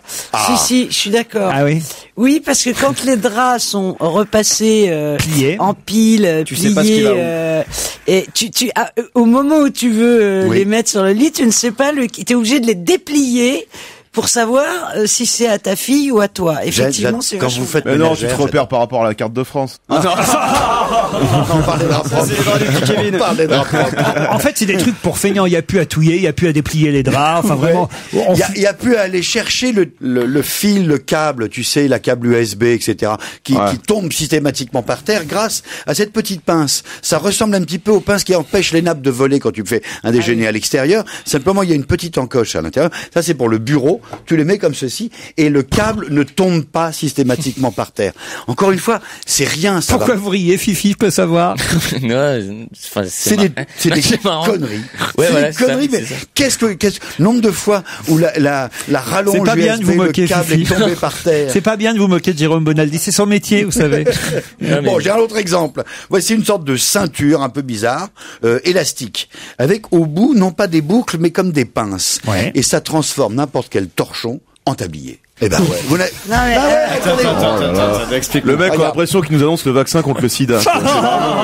Eh non, mais eh, eh, la vie elle est pas faite qu'avec des trucs géniaux qui changent tout de suite la vie du monde. Oui. Il y a quelquefois des gens qui ont besoin d'avoir un tablier. Zut, j'ai pas de tablier. Je prends un torchon, je le mets autour, mais plutôt que de me l'enfiler dans le pantalon parce que j'ai pas toujours de pantalon. Ouais, bah, je me enfilez-vous ce que vous voulez dans le pantalon, mais franchement, c'est, ridicule, ça, Bonaldi. C'est ridicule, mais attendez, c'est un marché de niche. Le type Ah qui a oui. inventé Ah, ça, parce que je vais mettre ça à mon chien en plus. Bon, je peux faire plus sérieux. Ah non, Si- c'est fini parce que l'invité d'honneur est Merci. déjà dans la loge d'honneur. Il est presque 18h et dans quelques minutes, vous devrez identifier justement qui est caché dans cette loge. À tout de suite On va se gêner sur Europe 1 avec Laurent Ruquier. Jusqu'à 18h30. Europe 1, la hotte de Noël. C'est plus de 2000 cadeaux à gagner. Et oui, c'est déjà Noël sur Europe 1. Euh, Jouez avec nous à la Hotte de Noël. Pour cela, c'est très simple. Vous nous appelez au 39 21 ou vous envoyez le mot Noël par SMS au 7 21 21 et jusqu'à 19h. Je vous rappelle que vous pouvez gagner, entre autres, hein, un écran plat 107 cm, une sélection des coups de cœur d'Europe 1 avec euh, un super coffret DVD comprenant plus de 185 films. Il y a plein d'autres surprises. Alors n'hésitez plus, jouez avec nous, tentez votre chance en appelant le 39 21 ou en envoyant par SMS le mot-clé, c'est le mot Noël au 7 21 21. Je vous souhaite bonne chance à tous. Europe 1. Europe 1. On va se gêner. Un invité caché dans une loge. C'est le moment de la loge d'honneur. Hier, c'était le chanteur poète Renaud qui était caché dans la loge d'honneur. Sa voix était particulièrement bien déformée, je dois dire, parce que Vous n'avez pas besoin de le faire. Hein. si justement parce qu'aujourd'hui elle est assez identifiable et, et c'était une voix féminine qu'on entendait dans cette loge. Peut-être ça va être le contraire aujourd'hui. Allez savoir. Ça peut être un sportif, ça peut être un politique. Ça peut. Qu'est-ce qu'il y a? Vous avez les bons invités à chaque fois que je suis pas là. C'est vrai? Aujourd'hui, on va encore avoir un truc de télé-réalité ou je ne sais quoi. Vous ne savez pas qui est dans la loge d'honneur. Moi, je sais. Bonjour. Bonjour. Ah la voix. Oh est- voilà, c'est nul. Rien qu'à son ton, je sais que c'est nul. C'est Mickaël Vendetta, ça. Non, c'est pas du tout quelqu'un de la télé-réalité, ça je peux d'ores et déjà vous le dire. Et c'est quelqu'un que je suis ravi euh, d'accueillir euh, pour, la, pour la première fois dans cette loge d'honneur. Attention, n'en dites pas trop, des phrases très courtes et surtout des oui et des non pour répondre aux questions de mes camarades. Vous êtes un garçon? Non. Une Non. fille Une fille. Déjà, vous êtes content Ah ouais, Ah, une femme qu'il est très contente d'accueillir. Vous êtes, vous êtes une, art- une chanteuse? Non, heureusement. Une actrice? Un peu. Ah oui, pas, pas un peu, vous êtes actrice. Oh, c'est gentil. Ah bah oui. Oui, oui, alors c'est une actrice, qu'il aime bien. Donc. De cinéma? Non. De théâtre. De théâtre? Oui. Est-ce que vous connaissez la tasse qui touille toute seule? Ah non, je viens de découvrir. Ah, vous avez déjà travaillé avec Laurent? Oui. Est-ce que vous avez joué dans des pubs? Vous faites partie de l'équipe Euh, là, actuellement, non. Vous avez, vous avez travaillé avec lui à la télévision Euh, non. Elle- Elle a pas travaillé à la télévision. À la radio, à France Inter. Ah Et la nuit Il y, a- y eu du monde. Hein, en- C'était la nuit C'était la nuit Non. Vous n'avez pas un chapeau Non. Ben, elle est morte. Elle est morte C'est fou, hein, toutes les semaines, il y en a un qui Toutes les se voit. semaines, il y a quelqu'un qui dit Macha Béranger. C'est incroyable, ça. Je crois que c'est Geneviève de Fontenay, je dis, elle est morte. Ça lui fait plaisir, remarquer Macha, si elle nous écoute, mais enfin, quand même. Enfin, vous êtes dans le dis genre, si elle nous écoute, c'est con. Il y a, pas de chance. Je crois pas qu'on capte européen, euh, six pieds sous terre. Est-ce que vous faites du comique? Euh, Vous avez tourné dans un film qui sort récemment? Non. Vous êtes plus dans le boulevard alors en fait. De temps en temps. Pas seulement. Pas seulement. Mais vous avez jamais fait de, de cinéma Un peu. Un petit peu. À la télévision, on vous voit dans des fictions Oui. Est-ce que vous Dans êtes... séries Oui. Vous êtes, vous êtes flic Fliquesse Non. Vous êtes sur TF1 Non. Vous savez que vous avez une drôle de voix quand Vous jouez même. dans Plus belle la vie Est-ce que, vous, est-ce que vous jouez dans Plus belle la vie demande Non, Fifi. ah, pas du tout. Vous êtes au chômage? Je de moins le quart. Vous êtes bientôt en spectacle toute seule? Non. Vous avez déjà fait du one man show? Oui. Euh, vous avez déjà tourné dans H Non. Et On- dans, la, dans la pub, vous êtes toute nue Non. Vous êtes plutôt un, vous avez été un sex symbole, une fille euh, vraiment euh, jolie, une fille. Je crois pas. Trop drôle. Bon bah laisse tomber. Eh, Pourquoi elle est moche Bon, je vais pas dire ça, mais c'est la façon, la rapidité avec laquelle elle répond à la question qui me fait rire. Donc, Vous êtes Anne Roumanoff Si je suis un Roumanoff Ouais, est-ce que vous êtes Anne Roumanoff Non. Comédienne est votre activité principale. Oui. Vous êtes... euh, on peut... Non, on peut pas demander les détails physiques. Et est-ce qu'on peut avoir un indice Ah, monsieur vous pouvez demander ce que vous Monsieur voulez. le chef. Et puisque vous séchez, je vous donne un premier indice Merci, sonore.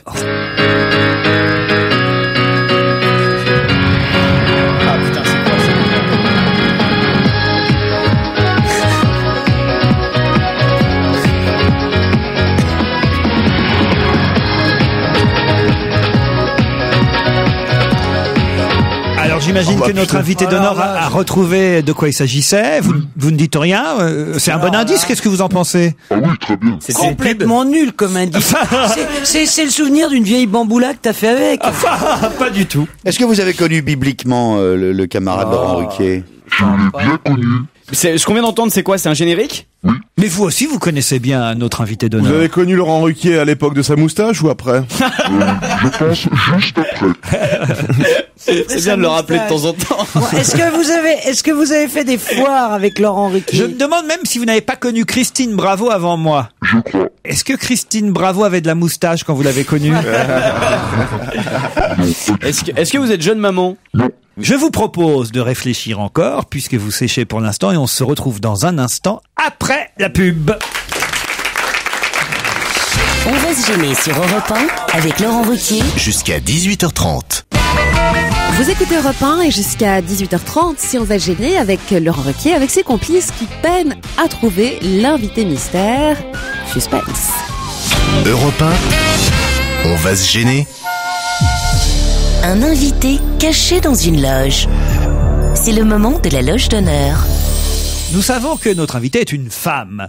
Euh, Nous savons qu'elle est plutôt jeune, jeune moins le quart. Euh, Elle a dit, on sait aussi qu'elle a fait de la télévision, de la radio, qu'elle est comédienne, qu'on la voit même régulièrement dans une série à la télévision. Je crois que je n'ai à peu près euh, rien oublié. J'ai bien résumé la situation, Oui, invité. enfin, je suis pas si jeune que ça, quand même. Oh, bon, ça va. Est-ce que vous êtes plus vieille que moi? Un tout petit peu plus jeune.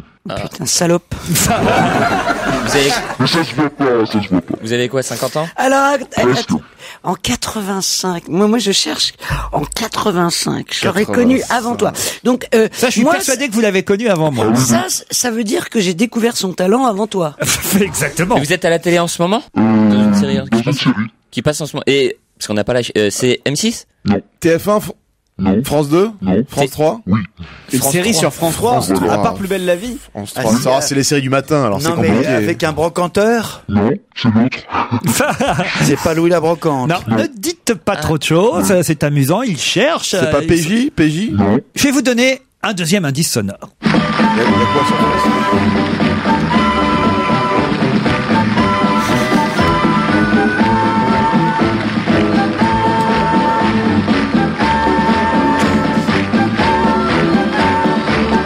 quoi sur France merde Alors, alors. vi- visiblement, c'est une, sé- c'est une série qui est rediffusée. Non.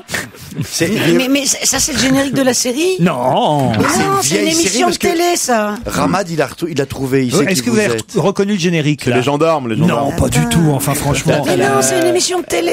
Bah oui. C'est poli. Énorme, c'est une énorme émission Jacques de télé. Votre mari avait un talent terrible. Enfin, on n'était pas mariés. Oh, C'était pas son mari. Son Claudia amant. Schiffer. Alors, je suis surpris que vous n'ayez pas reconnu ce générique qu'on a Quand même. entendu pendant des années Mais oui, et des oui, années. oui, hein. je Non, me attends, rappelle. on va le faire par, le, par, son, par son rôle dans la série sur France 3. Ah. Vous n'êtes pas flic. Vous êtes, vous êtes une méchante dans la série une gentille. Une Il gentille. n'y a pas de méchant sur Euh, France 3. il y a, il y a- Est-ce que vous êtes avec un père euh, religieux et un maire? Non, c'était F1 ça. Bon, c'était F1. avec... Vous voulez vous évader d'une prison euh, Mais Paul Julien Lepers. Vous êtes ange gardienne? France 3, on va galérer. Vous avez une France 3. profession particulière dans la série de France 3 Euh, oui. Ouais, vous êtes kiné, médecin, Vous êtes dans le social, non Vous êtes dans le pompier. social. Ah, pompier, oui. pompier. Non, je suis dans le social. Je vais vous donner un indice qui devrait définitivement Ah ouais, putain, vous faire ouais. avancer.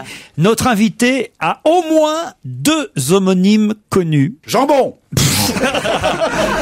Notre invité a au moins deux homonymes connus et qu'on connaît même nous-mêmes très très Ah, bien. j'ai trouvé. Jérémy Michalak a trouvé. Ouais, vous êtes- Ça en fait un autour aussi, de la table. Vous êtes, dans, vous êtes dans les ordres un peu. Ah, j'ai Ah, c'est trouvé. sur Thérèse. C'est-à-dire c'est Dominique Dominique Lavanant. Bah pas du tout. Ça marche toujours.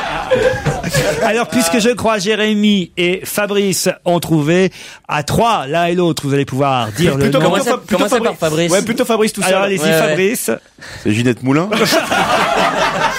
Ah, en fait, il y a que Jérémy Michalak qui a trouvé. Euh, Jérôme, vous avez trouvé vous? Non, non, j'ai plus? pas trouvé. Christine non plus? Pas du tout. Alors allons-y, Jérémy. Simone Garnier? Non, Jérémy Michalak. Virginie Lemoine. Virginie Lemoine. 16h, 18h30 sur Europe 1, avec Laurent Ruquier. On va se gêner. Jusqu'à 18h30 sur Europe 1, c'est On va gêner avec autour de lui aujourd'hui Jérôme Bonaldi, Christine Bravo, Fabrice Eboué, Fifi, Jérémy Michalak et on retourne dans la loge d'honneur avec l'invité d'honneur bien sûr. Virginie Lemoine est notre invitée d'honneur. Et la fameuse série que vous recherchiez, euh, qui est diffusée certains samedis soirs sur euh, France 3, c'est Famille d'accueil. Voilà. Elle, elle accueille euh, des enfants. Voilà, c'est une absolument, euh, des maman enfants. euh, adoptive, on Voilà, c'est dire. ça. Une, Virginie. Une, une, une assistante maternelle. Il y en a euh, eu voilà, combien c'est ça. déjà, euh, Eh bien, écoutez, nous avons attaqué la dixième année, donc euh, je ne sais Ah ouais, pas. dix ans. Oui, euh, je vois que personne ne, ne regarde autour de ce micro, mais la série néanmoins marche bien. Ah oui, elle ne peut que bien marcher pour que ça dure 10 ans, Oui, c'est que oui, ça marche absolument. forcément Bien. Mais Virginie Lemoine est là aussi pour un spectacle qui s'appelle Une diva à Sarcelles, qui se joue au théâtre de la Huchette. Et euh, Virginie est non seulement l'auteur, mais la metteuse en scène de ce Absolument. spectacle. Et la diva, c'est Brigitte Faure. Oui, c'est une femme euh, incroyable. Alors expliquez de quoi il s'agit, parce que euh, si j'ai bien compris, c'est une sorte de cantatrice qui chante dans sa cuisine. Voilà, c'est ça. C'est une cantate, une soprano qui a un peu loupé sa carrière et euh, une longue déchéance. Et puis un jour, elle a retrouvé le plein épanouissement de son art en chantant dans sa cuisine devant un public imaginaire, en pyjama et en pantoufles. Donc elle, chante, elle raconte sa vie, elle donne des cours de, de, de chant euh, assez assez étonnants. Et bon, puis c'est euh, un- c'est un personnage complètement extravagant et très drôle, mais en même temps, c'est quelqu'un qui ne travaille plus depuis quelques années et euh, depuis qu'elle se produit dans sa cuisine. Donc c'est aussi une femme expulsable. Donc c'est aussi l'histoire d'une expulsion. Il y a son gardien, Monsieur Larsonneur, qui est très très très amoureux d'elle et qui veille sur elle. Il y a un pianiste il y a un pianiste virtuose qui s'appelle Joseph Kapupska, qui est formidable, et Marie Chevalot qui joue dans la pièce, qui m'a aussi assisté à la mise en scène. Alors Brigitte Faure, Michel Tavernier, Marie Chevalot et Joseph Kapustka. Voilà. Euh, C'est le casting de cette pièce qui se joue au théâtre de la Huchette. La Huchette, c'est dans le 5e arrondissement Absolument. de Paris, au métro euh, Saint-Michel, le quartier latin, Voilà, hein, en quelque fait. sorte. Et euh, vous y êtes tous les soirs, vous, Virginie? Ah oui, oui, oui, tant, tant- oui, oui, j'y suis pratiquement tout le temps. Mais vous n'êtes pas sur scène. Non, non, non, je suis dans la salle en train de prendre des notes, en train de faire. Vous avez écrit et vous avez mis en scène ce spectacle qui est donc chanté aussi. Ah oui, absolument. Elle chante toutes sortes de choses. Hein. Mais des airs classiques, euh, bien. Elle chante bien. Elle chante extraordinairement bien. Oui, j'en ai entendu parler. J'ai entendu dire que c'était assez étonnant comme Ah, non, spectacle. mais C'est commencé quand ça? Il y a huit jours, il y a une semaine. Eh ben j'ai entendu déjà Ah oui, quelqu'un en parler. ouais. Est-ce que DSK est venu le voir? Parce qu'il était maire de Sarcelles. Oui, bah non, mais on va l'inviter. Ah une diva à Sarcelles, une comédie musicale, on peut dire ça comme Oui, ça. c'est ça. Mise en scène et écrite euh, par euh, Virginie euh, Lemoine avec Brigitte Faure, qui est une vraie cantatrice. Donc, Alors en fait, alors on se pose la question parce que c'est un phénomène. Il y a un, critique qui disait c'est Jacqueline Maillan sur scène et Régine, Régine Crespin quand elle chante. Les gens se demandent si elle est euh, une comédienne qui chante ou une, une chanteuse qui joue, mais c'est une comédienne qui chante et c'est un phénomène vocal parce qu'elle a jamais pris un cours de chant. On se pose la même question avec Pierre Bénichou. en fait. Mais vous-même, vous êtes une chanteuse, Virginie. Formidable, Ah ouais, bien sûr. bien. Alors, racontez quand est-ce que vous avez rencontré pour la première fois Virginie, Ah, Christine? c'est extraordinaire. C'est dans un petit bar gay. Euh, euh, rue des Blancs Manteaux à Paris et elle était elle essuyait les verres au fond, fond du café. Et Christine était Et maîtresse d'école. Et oui, j'étais C'était le institutrice. piano zinc, c'est Ouais, ça le piano zinc. Et j'étais totalement amoureuse du patron euh, Jürgen. et- qui s'appelait Jürgen, qui était allemand. Et cet allemand, je l'adorais évidemment. Et il était le patron, mais aussi l'ami euh, de Virginie. Ils étaient très très proches tous les deux. Ils chantaient et elle chantait. Et qu'est-ce que vous chantiez dans ce piano je zinc tout. euh, ne me dis C'était plus tu. Elle, elle chantait une chanson qu'on lui réclamait tout ça. C'était Laquelle, génial. laquelle, laquelle Ne me dis ne plus me tu. dis plus tu, je sais tout, vois-tu, j'ai tout vu et j'ai tout entendu, c'est une obsession, pourquoi ta passion n'a pu fuir l'infâme tentation? C'est Ah pour bah, ça que je ne joue pas, absolument. c'est ce que j'allais dire, c'est pour ça que c'est Brigitte Fort qui joue, qui chante. Non, elle chantait vachement bien. Elle exagère là. Elle le fait mal et tout. Alors, je voudrais vous faire réécouter quand même les deux indices euh, sonores. Tout d'abord, euh, le premier indice, Alors ça, on n'a pas. C'est le générique de Studio Gabriel. Studio Gabriel, Ouais, ouais. où Laurent Gérard et Virginie Lemoine avaient euh, la rubrique le Zap Actualité. Le- les euh, actualités, voilà, voilà. Zap Actualité. Ça fait Madeleine de Proust hein, Euh, quand on entend la voilà. musique. Et le deuxième générique, évidemment. C'est Jacques Martin, ainsi fond fond fond, où euh, Virginie, euh, Jacques euh, et moi avons eu la chance euh, de nous croiser pendant plusieurs mois aux côtés de Maître Martin. C'était quand même facile de trouver Virginie. Ouais. Et, vraiment... Ah bah si, si, si. non, si, parce si, que vous êtes parti sur la télé en Virginie. Elle a vraiment fait une, une, une très jolie carrière de d'humoriste, de comique, de et vous nous avez lâché la piste là. Eh ben, on en reparlera tout à l'heure puisqu'elle est avec nous jusqu'à 18h30. On va se gêner sur Europe 1 avec Laurent Ruquier. Jusqu'à 18h30. On va gêner se poursuit sur Europe 1 jusqu'à 18h30. Je vous rappelle évidemment que vous pouvez assister à l'enregistrement de l'émission en appelant le 3921 en allant sur notre site, c'est le www.europe1.fr. Allez, on retourne retrouver Laurent Ruquier avec son invité d'honneur aujourd'hui, la comédienne Virginie Lemoine. Virginie Lemoine est là encore avec nous. Une diva à Sarcelles, c'est pas elle la diva, mais c'est elle qui a écrit cette pièce qui se joue au théâtre de la Huchette, pièce chantée ou comédie musicale comme vous le souhaitez.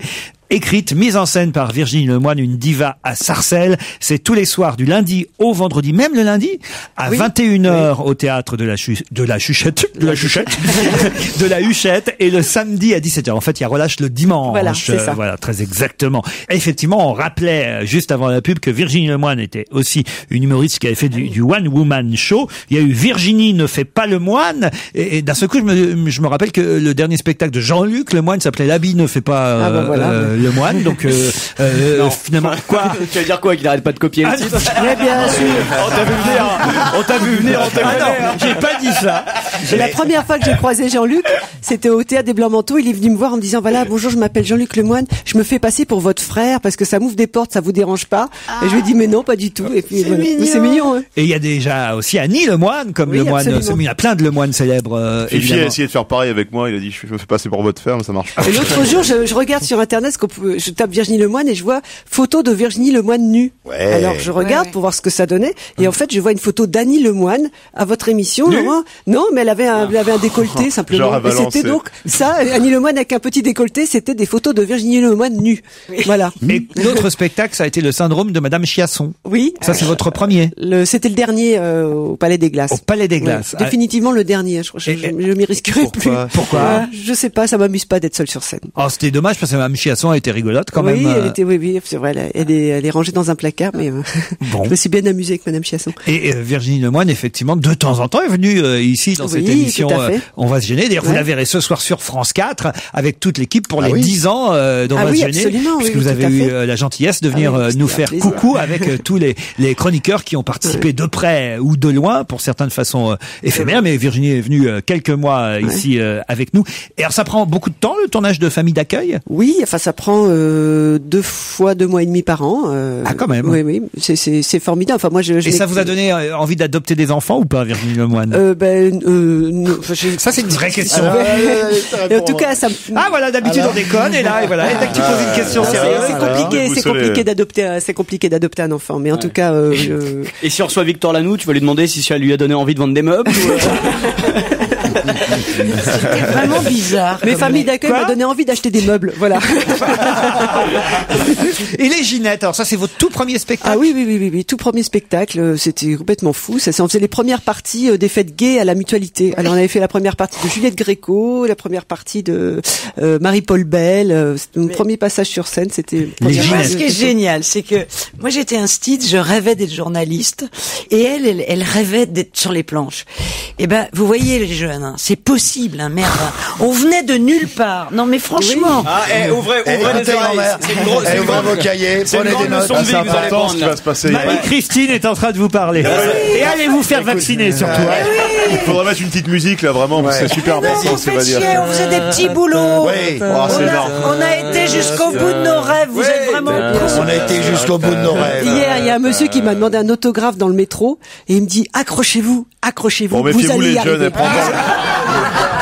Ça, c'est génial. Il faut quand même rappeler que vous avez fait le conservatoire de Rouen. Oui. Et il y avait qui avec vous au conservatoire? Alors il y avait euh, euh, Valérie Lemercier, Franck Dubosc, il y avait Karine Viard Ah, tu vois. et il y avait euh, Ah t'es vraiment la dernière alors, vraiment. Qui est con lui alors? Et alors ils étaient sympas ces gens-là ou pas? Absolument adorable, Ouais. tout à fait charmant. Franck Euh, Dubosc, il était déjà Franck il Dubosc était, euh, non, non, non, il était très, très, très timide. Il avait une grande mèche comme ça. Il avait des chaussettes blanches avec un jean court et puis il avait, il coiffait des pièces de monnaie dans ses mocassins. Vous savez. Puis on allait au boom ensemble, puis il remettait toujours sa mèche comme ça. Il était, euh, Et, et, euh, Il avait du succès avec les filles. Oui, on a eu j'ai des potins, mais je, je ne les dévoilerai jamais. Ah non mais attendez, Franck Dubosc avec Karine Viard, il s'est passé des Non, trucs non, non, non, pas du tout, Avec Valérie tout. Lemercier Non, non, non. non Avec toi non, non, non, non, non, non, non. Non, non, non, non, non, mais pas du tout. Et alors, euh, Valérie Lemercier, elle était comment elle? Ah, elle était absolument incroyable. Déjà, c'était déjà euh, la- une, star de course. C'était quelqu'un d'incroyable. Ah Oui, elle était incroyable. Et puis en plus, elle, elle faisait elle-même ses robes. Je me souviens. Elle s'habillait toute seule. Et Karine Viard, qui est une grande comédienne. Alors Karine, elle était drôle parce qu'elle était, euh, elle, elle, elle, elle s'habillait toujours en, en jupe plissée bleu marine avec. euh, on a l'impression qu'elle venait de chez les scouts. Et quand on en reparle aujourd'hui, elle me dit, mais je sais pas pourquoi je faisais ça. Personne ne m'y obligeait. Elle, s'habillait vraiment comme comme si elle était en uniforme de, de collégienne au Japon. C'était c'était étonnant. Elle était très très timide. Souvenir du conservatoire euh, de euh, Rouen, le théâtre de la Huchette. Ça, c'est à Paris. Et vous pourrez applaudir ce spectacle, une diva à Sarcelles. Je suis sûr que c'est bien. Je dis pas ça parce que c'est une copine, parce qu'en fait, on, on s'est pas vu pendant des années. Mais j'ai entendu dire, je vous jure, il y a un petit bouche à oreille. J'ai entendu dire, il y a une fille formidable. Elle est, elle est très très très étonnante. Brigitte Faure est la diva à Sarcelles, écrite et mise en scène par Virginie Lemoine au théâtre de la Huchette. Merci Virginie. Merci infiniment. Merci à vous Laurent. À demain, 16h ou ce soir, 20h30 sur France 4. Pour les 10 ans d'On va gêner, à demain, 16h pour Europe 1, on va gêner tout simplement. Chaque soir sur Europe 1, Michel Drucker passe en revue toute l'actualité du divertissement. Ce soir à 19h, euh, Michel Drucker et Wendy Bouchard recevront comme invité unique l'auteur, compositeur, interprète, monsieur Charles Aznavour. Ne ratez pas cet événement. Studio Europe 1, c'est à 19h.